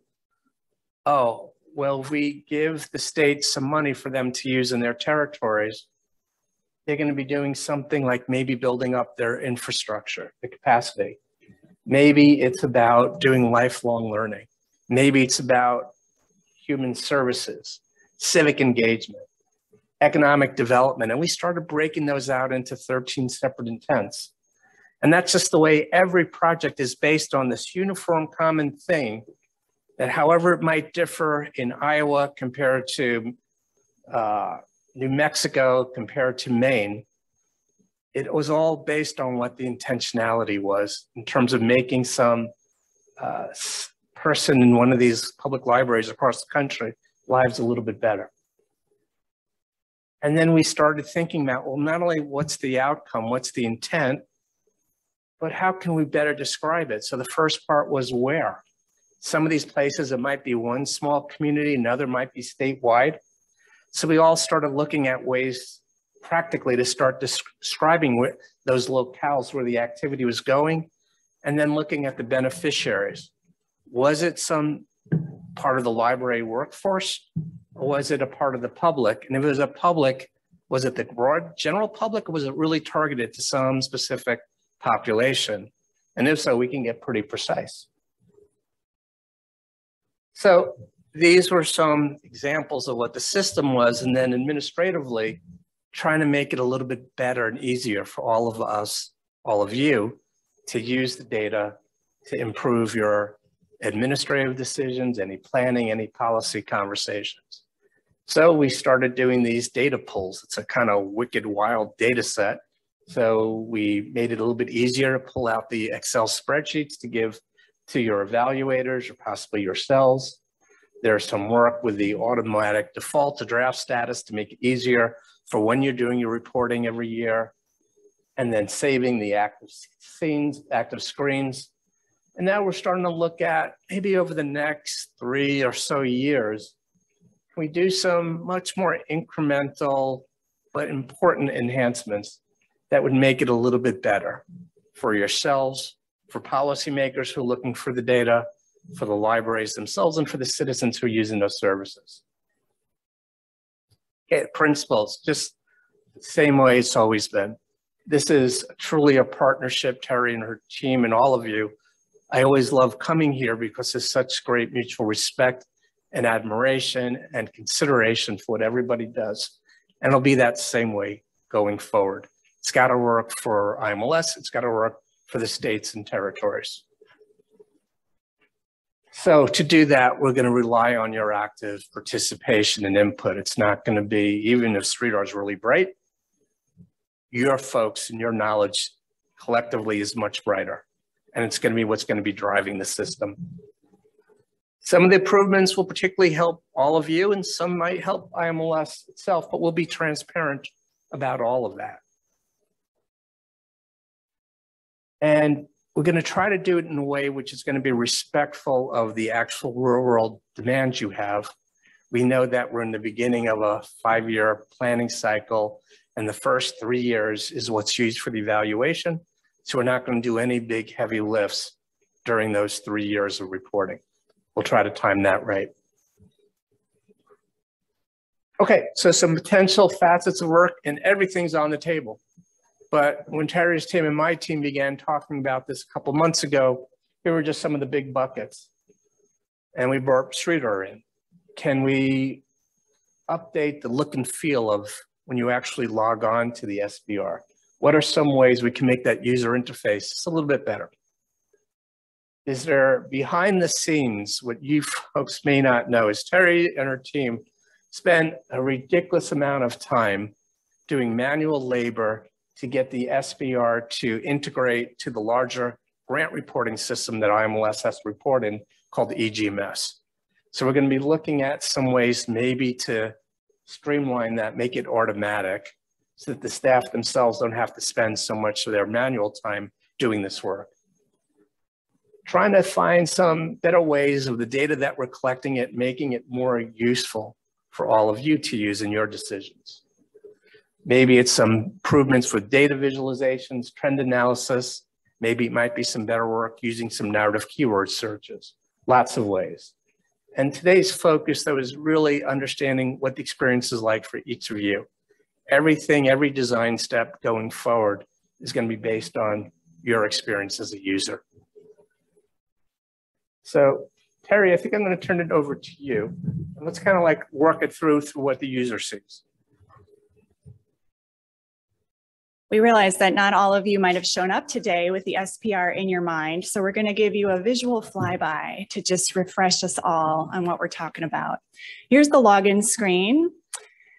You go in, if you're an LSTA coordinator, you're probably adding a project. You could be copying or continuing a project from a prior year. There are some options here. Once you get to the add a project page, there's some initial fields you're filling out. You're giving it a title, an abstract, telling us who the director and the grantee are. We've got those additional materials that Hadia was talking about and lots of budget information. This is one of those fields that Madison mentioned, actually both of these fields not in the public view. This is the controlled vocabulary kind of section of the SPR where we're asking you to pick one of the 14 intents that roll up to those six focal areas that Matt was talking about earlier. Plus, we ask you to add up to two subjects, which are subsets of um, different library areas that you could be working on. So this vocabulary is set in the system we go into, you know, every project has a big umbrella and then there's little activities below it. And so we ask you to fill out activity titles and abstracts as well. The activity specifically has what we call modes and formats and quantities. Oh my. And we know that this has been a traditional pain point for some of you in interpreting, you know, what, what are we really looking for here as IMLS? We ask you to get down to the activity beneficiaries if it's not the general public or the library workforce. You know, are you looking to target certain populations with certain projects? Madison talked through the activity locale options. I just lay it out again as something that we've traditionally give you some choices around, but these choices have influence on what shows up on our website then. And so we're here to kind of talk about, you know, trade-offs in that information. The project outcomes area is open text. So if there are things, really good, important impacts that you haven't already talked about, we wanna hear them in this section. We also have a way for you to tag a project as exemplary, which really helps us when we're asked to call like some highlights of the program for the year. And you can use open-ended language to give us additional project tags that might be helpful for you to track. And it's also sometimes helpful for us to track. And then you get to the project status area where you're completing the project, saving the project, saving and continuing and saving and saving because we know that's a pain point in the SPR as well. And then you eventually generate a project list and all your money magically rolls up into these projects. And then you go to validate and ah, there's these error messages. So you're not alone, everybody gets these. And then you save and ta-da, you're done. So fly by. I'm gonna hand it back to Matt as we uh, talk about what's next. Okay, first principle, we're just starting the conversation today. We've got 10 questions. We'll take the rest of this session to try to get some feedback about those. Try to make sure everyone has a chance to participate if you want, but there'll be more time.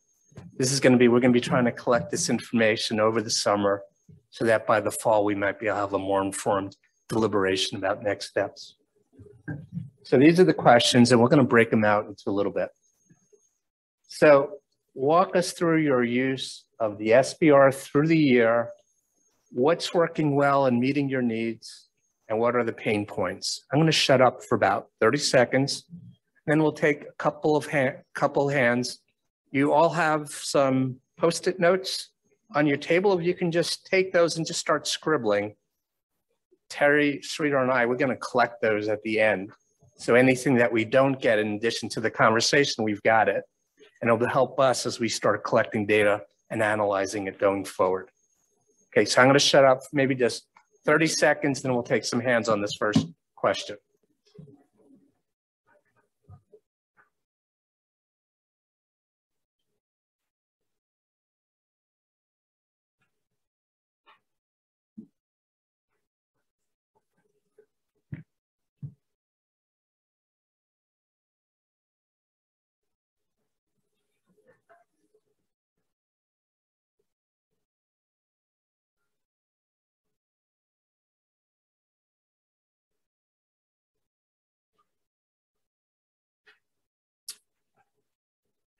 So, you know, as the elder, my memory gets bad and my eyesight's really bad. So I'm just going to be calling on people and I probably know you and I'm, I forget. I just ask for apologies front. But can somebody please, someone want to raise their hand and get us, get the conversation going? Go ahead, Jamie. I thought I'd get to say this. Thank you for the data export. Yes! So that's something that works well. Um, the thing that right now I'm having a pain point about is a safe way for subrecipients to enter uh, data directly. Yep. Um, I worry because it's based on library system and they Yep. don't have individual accounts. Yep. So I'm just going to repeat that, the issue of trying to have subrecipients report directly. How do you manage that? It's kind of a challenge. Somebody else?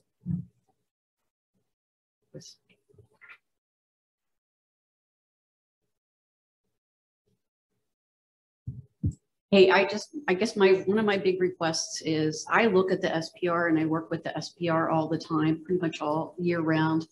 However, like the state librarian, not so much. He only looks at it once a year. Maybe there could be better prompts for how to certify stuff in the SPR. That, that was my pain point. Thank you. And yeah, I'm sorry, your name again is? Mary Raby, Maryland State Library Mary, Thank Agency. you. Thank you. Somebody else, please. I have lots of ideas.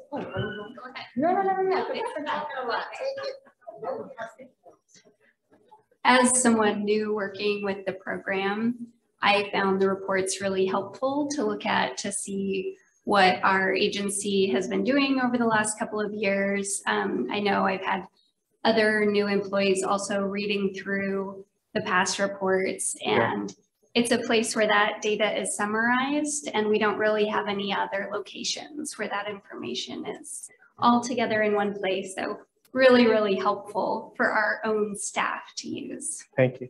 Your name again is? Talela from Idaho. Uh, thanks, Talela.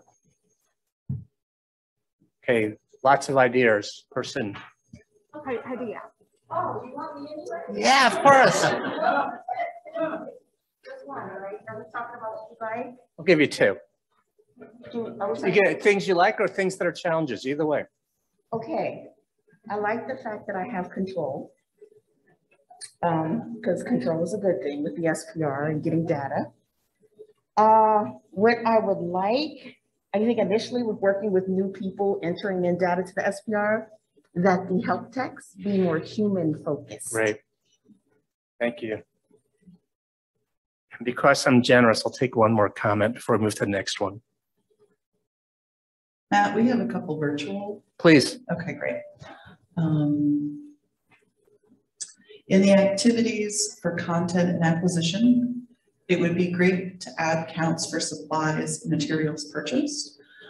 Um, This is Rachel Cook from Utah. Great, thank you. Who's a smarty pants. Um, I have had libraries pay for li- or pay for lots of things recently. Um, we pay for, um, lots of children's programming in the pandemic, and those supplies can be reported in counts. Um, if I should be reporting it differently, just let me know. Um, and then I have a couple, so just bear with me.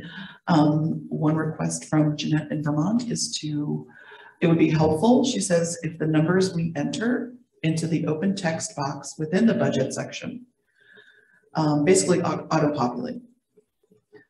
Um, and then Shannon Furlow, um, a pain point for us is how to translate outputs into something that we can show more widely.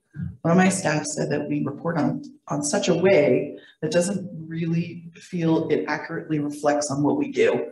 How can we change that narrative? Hey, Thanks so much, Cindy. These are all great. Next question. What does pre-SPR info gathering look like? And does it involve other systems? What's working well or not? It's going to give you 30 seconds. Take those post-its and we'll start the conversation all the way, we'll, and we'll start all the way back to that end table when we're ready.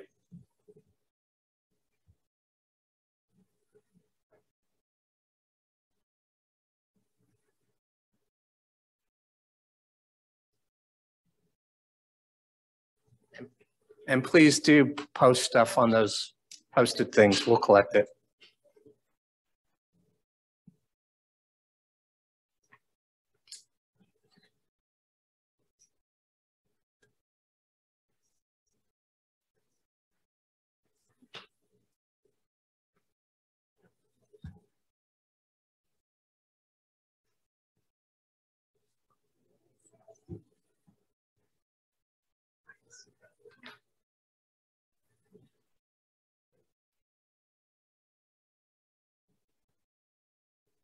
This is a great question. I was trying to ponder just how far behind I was on the SPR recently, and I was trying to chunk up time.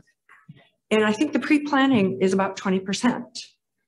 Um, I have um, essentially an Excel planning budget because I force everyone to send all of their charges through me, sub-grants or, Yeah. or statewide projects.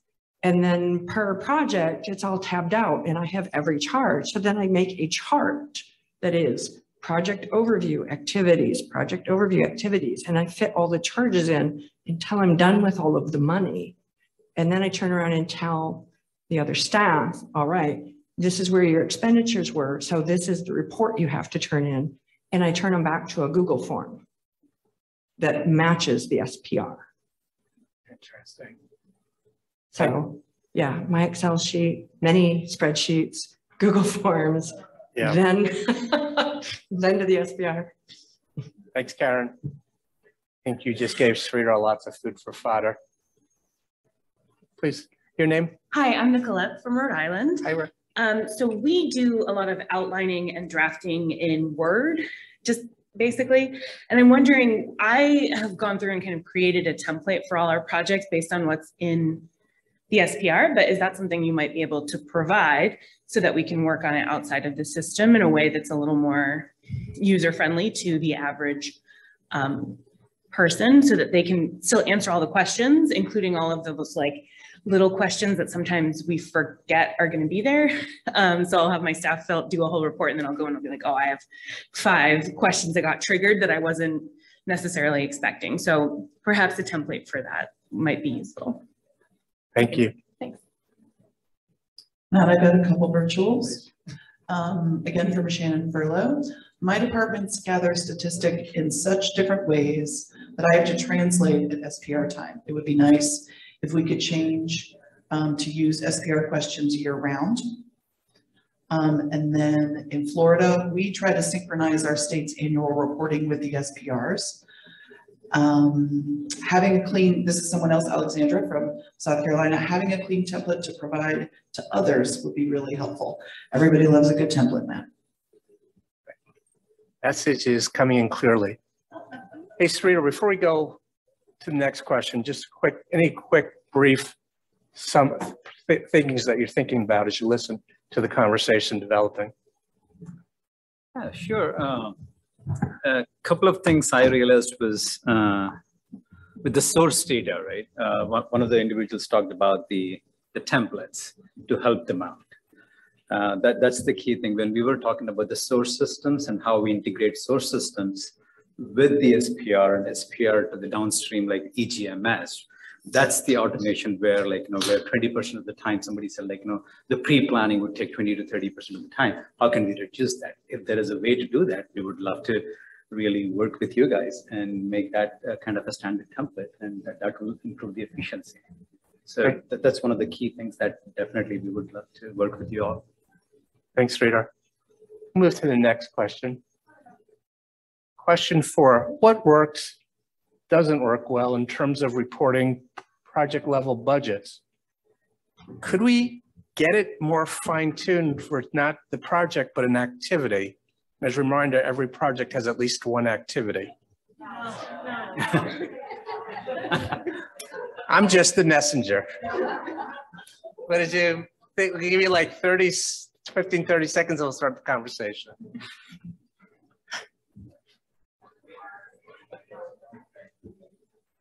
You want to.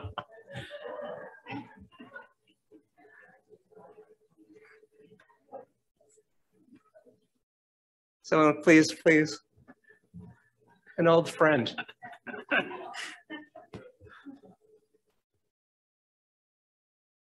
Um, when we first started doing the SPR, when you first came on board and Arkansas was a pilot project, that was the goal was activity level. And as we started working on it, I think we found that that was not attainable. And so we kind of drew back from that. And I think that's still the case. The activity level at our state, you know, the way we do our finances and budgeting at the state level, that would require a large burden on us and coding and accounting principles and stuff like that. So I would say activity level may not be the best way to go. Thanks, Debbie. Good to see you. So Carmen, North Dakota, um, new, a new fiscal director, and I'm relatively new in LSTA as well. So we're working together and our fiscal director really wants the budget to be set up aligning with the five-year plan mm -hmm. so that all of our money then is put into projects. So what I see is 29 projects for the upcoming years and so it'll all be coded according, every expense will be coded according to those projects. And that is how she would like it. And I think that's kind of what you are asking for, but it's probably not quite at the activity level. But at the project level. Yeah. Thank you. Matt, the virtual folks are saying thanks, but no thanks. Imagine that.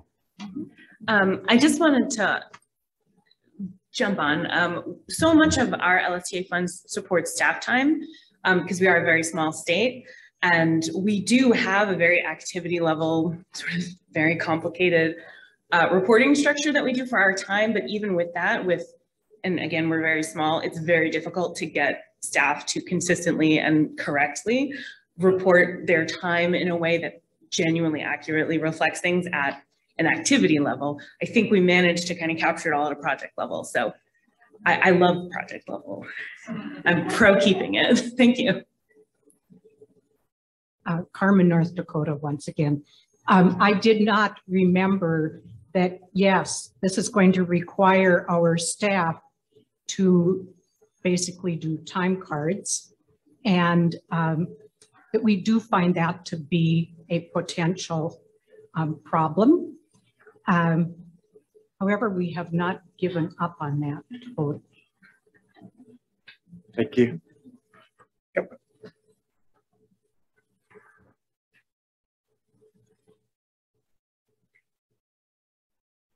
Just another scenario for our um, federal projects, each project has its own code and that code is set up in June of each previous year and we start our new projects in October with our federal funds.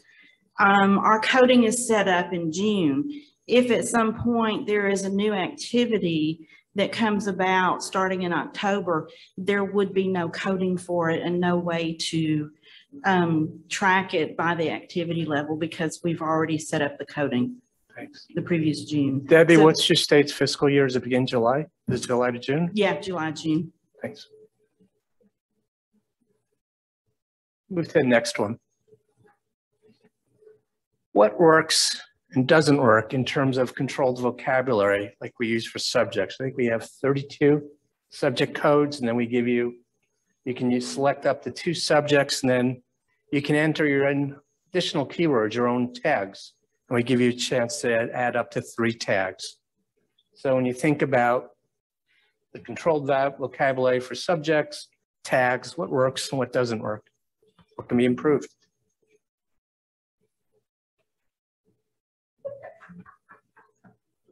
So these tags are a thing. All right. So I've been like every other state building templates and things like that. Pennsylvania, by the way. Hadia, hey, how you doing? And with the tags, I feel like we have been submitting enough reports in the SPR. Is there a way to pull those tags yes. to then compile like sort of like a starting list Yes. so that we can hit a drop down box or a checkbox instead of typing in these tags every single time. Because open text fields, when you're trying to like analyze that data is a nightmare. And so that would be help, and also with data entering in, that would help my um, advisors with those little things in life, you know. So what, one, one lesson I learned in uh, advancing in IMLS is to hire really smart people, people smarter than me, like Emily. And then bef- we used to have a statistician, Lisa, that came here. And those of you who remember Lisa, Lisa used to take these keyword tags and really start helping doing us analysis. We wanted to see what was the investment, return on investment for early literacy or digital literacy. We were using those tags. So that's something we can definitely follow up with you on. Thanks. Matt, we have a request with, um, what I'm gonna go with is a, an update of the tags themselves. Some things that may be more intuitive, like Wi-Fi. Something more direct and, um, instinctive as far as what's being used or utilized by, um, end users or libraries.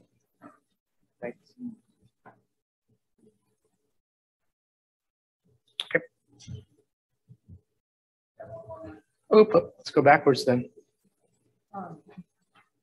Sorry, it's for. No, please. On the, um, Wi-Fi on tags. Wendy, you are from what state? South Carolina. Okay, I think thank it'd be you. great if you did have drop downs, but still have the option of open fields. Okay. Because when something new happens, you want to be able to still report it. Thanks, Wendy.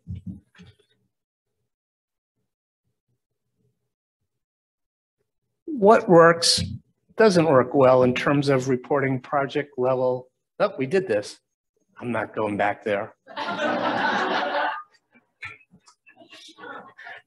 What works, doesn't work well in terms of current locale flexibility? Reporting by institution details or just a number? Sometimes IML IMLS can't convey the true reach of the program without geolocation data. Some background. This is going to be the elder speaking up.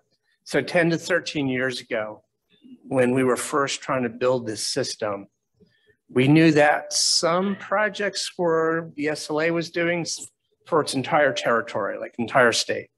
Sometimes it was being subgranted to a recipient who was covering maybe just one community. And then we had these weird things in between, or maybe it was all the big cities or all the small rural towns, or maybe just part of a state. And we didn't have a way to capture that.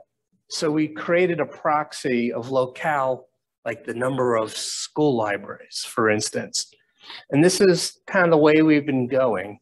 So as you look at this question here, we've got some maps to try to show you where we're at right now. For some of the states, um, we create a hypothetical of West Dakota.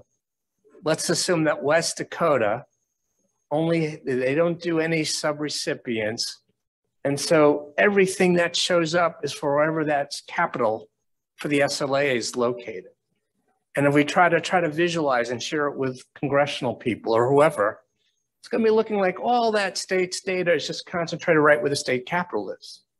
Now, if you picture that to the left, here's an opportunity where some state is giving us voluntarily a little bit more detail about those locales where it's captured so we can get a better sense of the reach of the investment in that state. But it's a work in progress. So as you think about this, what works and doesn't work in your ability to tell stories about where the SLA dollars are going in your territory? Think about. My extra work, go for it. So it's all with that humanistic approach, right? Yeah. So I feel like if there was an easier way to upload the locale data, that you would get more locale data. Right now, it's that, that manual data entry and it, you know, It's a we're- beast. all of us are wearing like twenty million hats. Y'all know how it is. And so that's why that, if there was an easier way for data entry, Yep. like uploading. Thank you. How about um, a congressional district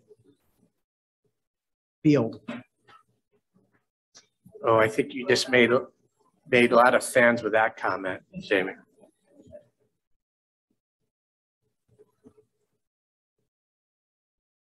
I know I'm getting between you and lunch, but I'm still going to push a little bit more. North Dakota, come on up. No, everybody's just trying to speak at the level at which I put the mic. So I want to raise it because I'm uncomfortable for them.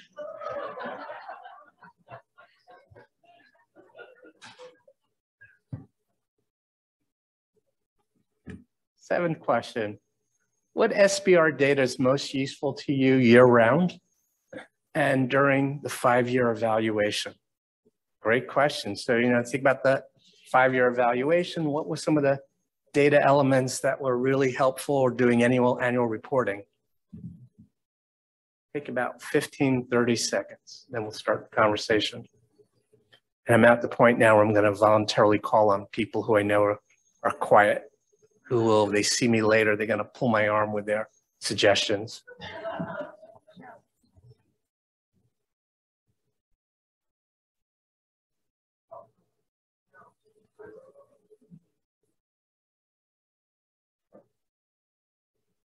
What's it like in Missouri?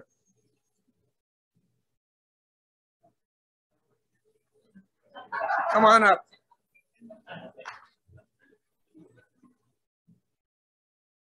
Well, we do use the SPR for some things. A lot of times we collect uh, as far as like new projects and that sort of thing from conferences such as this or PLAA or listening to other things. Yeah. Um, and then we go back to the SPR to get the data to move forward. Do you use PLS too? Do you ever blend them?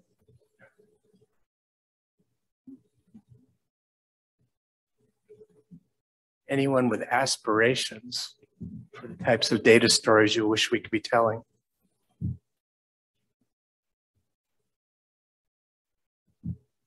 Matt Shannon Furlow, um, year-round were the surveys, which I need my staff to do more. Uh, Five-year, it was outputs to see overall impact. Thank you.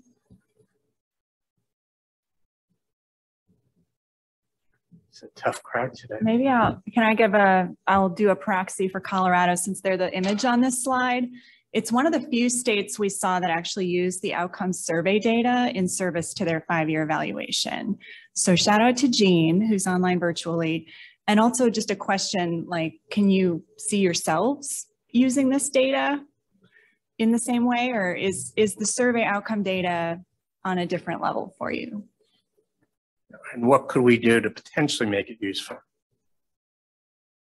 Pennsylvania, come on up. Pennsylvania, where we go? No, no, you know what? It's really hard because you know we are definitely evaluation and income. I'm mean, not income, but data driven. Yeah. But with entering in the data, we find ourselves button up against um, um, give me the word. Um, when you when you round, like when you round up or you round down. Oh, estimation. Yeah, estimations. And so when we actually get to the data that we're putting in, our data is skewed because a lot of it leads towards estimating.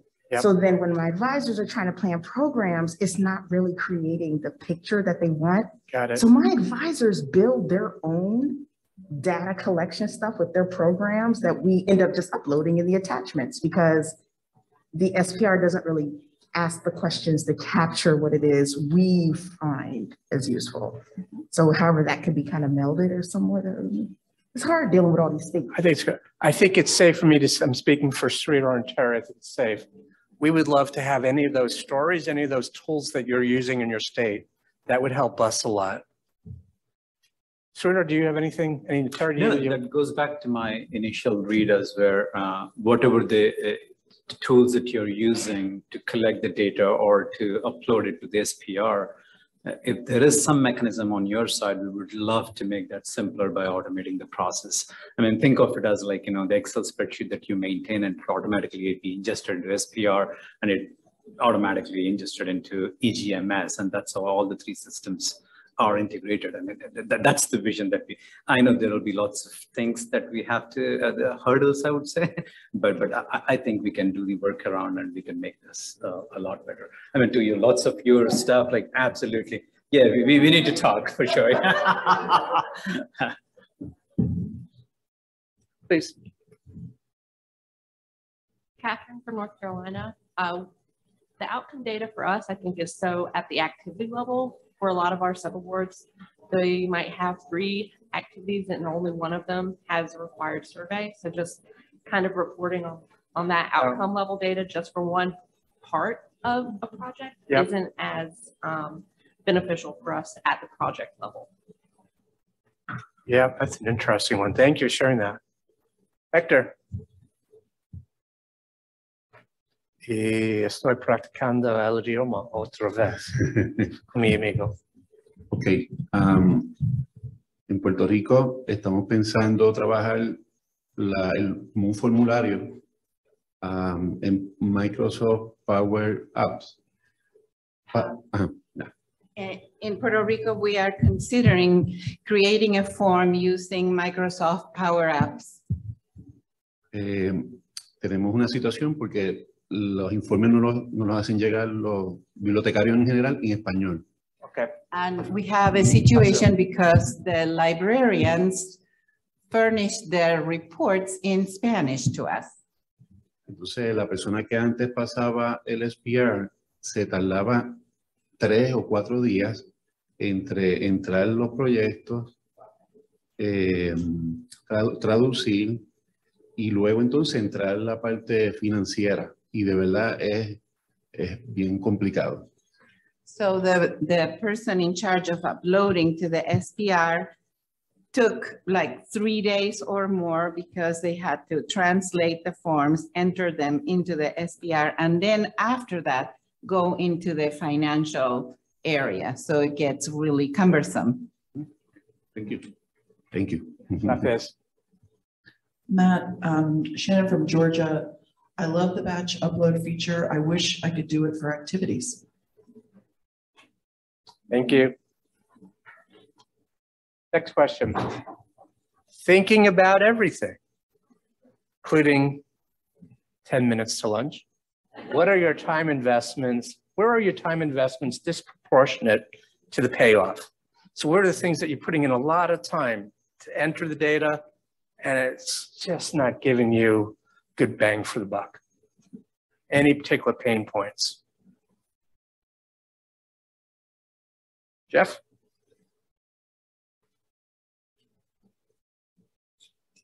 I'm, I'm still relatively new at this, but I think for me, one of the things that I've encountered um, giving out the, the grants and the projects is I'm only ever going to be as good as the projects and the reports that I'm getting back from people. So that's why the idea that a, a template that I can give people and say, here's what I need, here's what it needs to look like at the end, that I can sort of seamlessly Yep. get into the SPR. So I'm not acting as a translator um, for these things. And they know what's expected. They know what ultimately I'm going to be needing. So um, like I said, the, just the realization that I'm only going to be as good as, as what I'm getting from the, the project leads. Thank you. Great.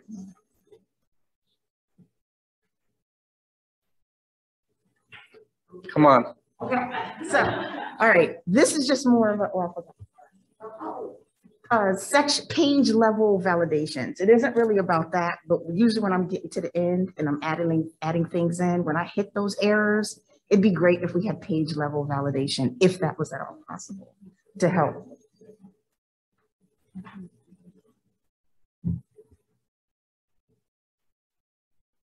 Um, I have just, I think this might be more of an us problem in my state than a you problem, but because we're spending so much time getting this data ready, I always feel like I'm never, I should be doing it now, planning for next year and ensuring that like everything we have is aligned to what's in there instead of what our individual departments are creating. And I just feel like I can never quite get ahead of that so that the next report is really, really meaningful to us in a way where we're not transforming some of the data that our individual people are collecting and then turning it into this.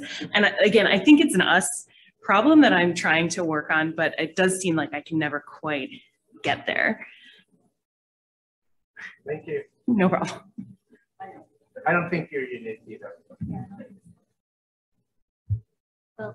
I have something that feels it may be an us problem as well, but for me, the actual difficulties with the SPR, I completely agree with the, you're only as good as your sub um, grantees reports. That is true. And yet I'd almost rather work with them than trying to get the data that I need from our financial department. I don't know how many other states have a real disconnect from the finance people versus them. Um, but I had a conversation with our CFO this year in which, past grant year, where I kept going back and saying, okay, well, you told me you sent, spent it on miscellany. I can't report miscellany what is that? And she finally said, well, why, why do you need to know that? And she had no idea that we had a budget narrative to go with that because she'd never looked at it. Um, I think she thought I was just being super annoying and trying to like make myself more important than I was. And I had to say, IMLS actually wants more than just the numbers from you. Um, so if there was, any way to have like a, a list, something we could provide to our business office. Here are the things that you need to be tracking so that it's not just Angela really wants you to be accountable to her, even though, you know, even though you're the CFO and she's just doing this more, Angela is going to have to go and justify this to her program officer. And she would really love it if you said, we something more than we bought stuff. So. Angela, another one to make many people happy here today. You got a couple. Matt, Tamara from um, Oregon. One concept we wrestle with is deep and narrow impact versus wide and shallow. Yep. Numbers seem to speak to statewide impact. Sometimes an activity is only for 15 libraries, but the impact is deep. It seems like we need more in terms of context to really tell the story. It's great. Yeah, the, the, the, investments reach so many people. Absolutely. Um, I think we're moving to the last question. Beyond updating the SPRs, beyond the engineering of the system, is there anything else we can do to help streamline or reduce the administrative burden you have and those of your subrecipients? So putting aside the SPR, anything else we could do?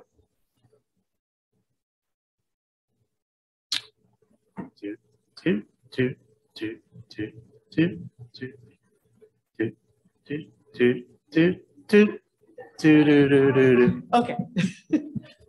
One thing we could probably do, because we have, I, I think all of us have our own little tools in our own little pockets that could probably help somebody else. You ask on um, one of the things on the SPR during the outcomes is best practices or whatever, but I haven't, we, I don't think we've had a chance to a place where we can deposit any of our tools and making help someone else. Cool. So like the question about finances and activities, we don't even work, we don't even ask finance to ask to do our um, activity level activities. We have our subrecipients give us that and we actually comb through their receipts yep, and yep. their requests for funds. Yep. But we do have different um, procedures that we've outlined that may help someone else um, that may or may not be in our manual. But anyway.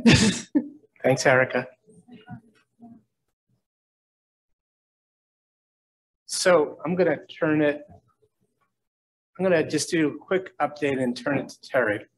So one of the things that's coming down the horizon is Sridhar has been working with the programmer and one of the, my team members who's a data scientist, we've been working the piece of software called Tableau to try to improve the ability to take the data that's collected in SPR and to create into some types of apps that you can all use for trying to tell some stories. So we wanted to let you know that that's coming down the pipe. But um, Teri, I think I want to turn it to you and wrapping us up for, turn, turn to Sridhar and wrapping us up. Sridhar, you want to go there or you want to start from here? Either way, I'm fine. So, this is the uh, Mm -hmm.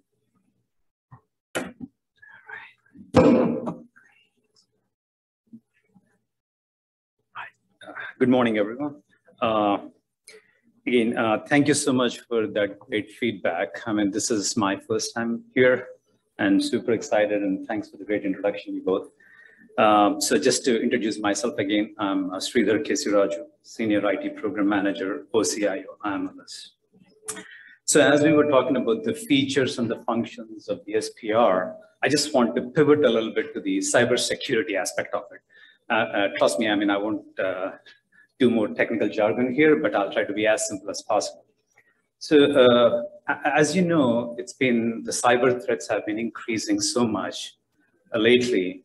The federal government have issued like, you know, more than 40 directives in the last 12 months for us to beef up the whole security. We've been doing a lot of these security initiatives at the background. You may not see them, but as one of the examples being the cloud, when we moved to the cloud, we moved to Gov Cloud. So there are lots of security controls we do. So uh, recently, White House passed this, uh, uh, issued a directive. It's called White House National Cybersecurity Initiative. But there are like lots of things that we have to do, which we have been doing. But one of the things that matters here, the relevant to this context is the multi-factor authentication. I'm sorry, another acronym. Uh, sorry, sorry. Yeah, it's MFA, we call it. Uh, uh, again, uh, this MFA is something that's being mandated at this point of time for any other public systems which requires authentication. SPR being in the application where you need to log in. So we have to make that a multi-factor authentication. So for many of you may already know what the multi-factor authentication is, right? I mean, even the daily life, you have the banking applications where you log in and there will be a code sent to your email or text. So it's pretty much that. Uh, and also if you're using other government applications like EGMS, IMLS EGMS or other applications, they do use the solutions like login.gov. So they provide both uh, single sign-on as well as the multi-factor authentication. So having said that, so our goal as part of the future of SPR is to implement multi-factor authentication. Uh, uh, so uh, uh, other securities, as I said, you may not have direct impact on you or the users of the system, but MFA definitely you will see that impact because it's just, it, it differs the way you log into the system. But again, our goal is to minimize the impact negatively. Um, so uh, Teri, I'm working with Teri and Matt on like, you know, what are the solutions available? So we would love to go with a solution that we are all familiar with, like login.gov. But again, there are certain logistics that we have to uh, consider. There are lots of other factors. So as soon as we make some decisions, um, we will keep you posted on that. Uh, and we will give enough time for you guys to test it out, make sure everything is smooth before we uh, up there. Thank you.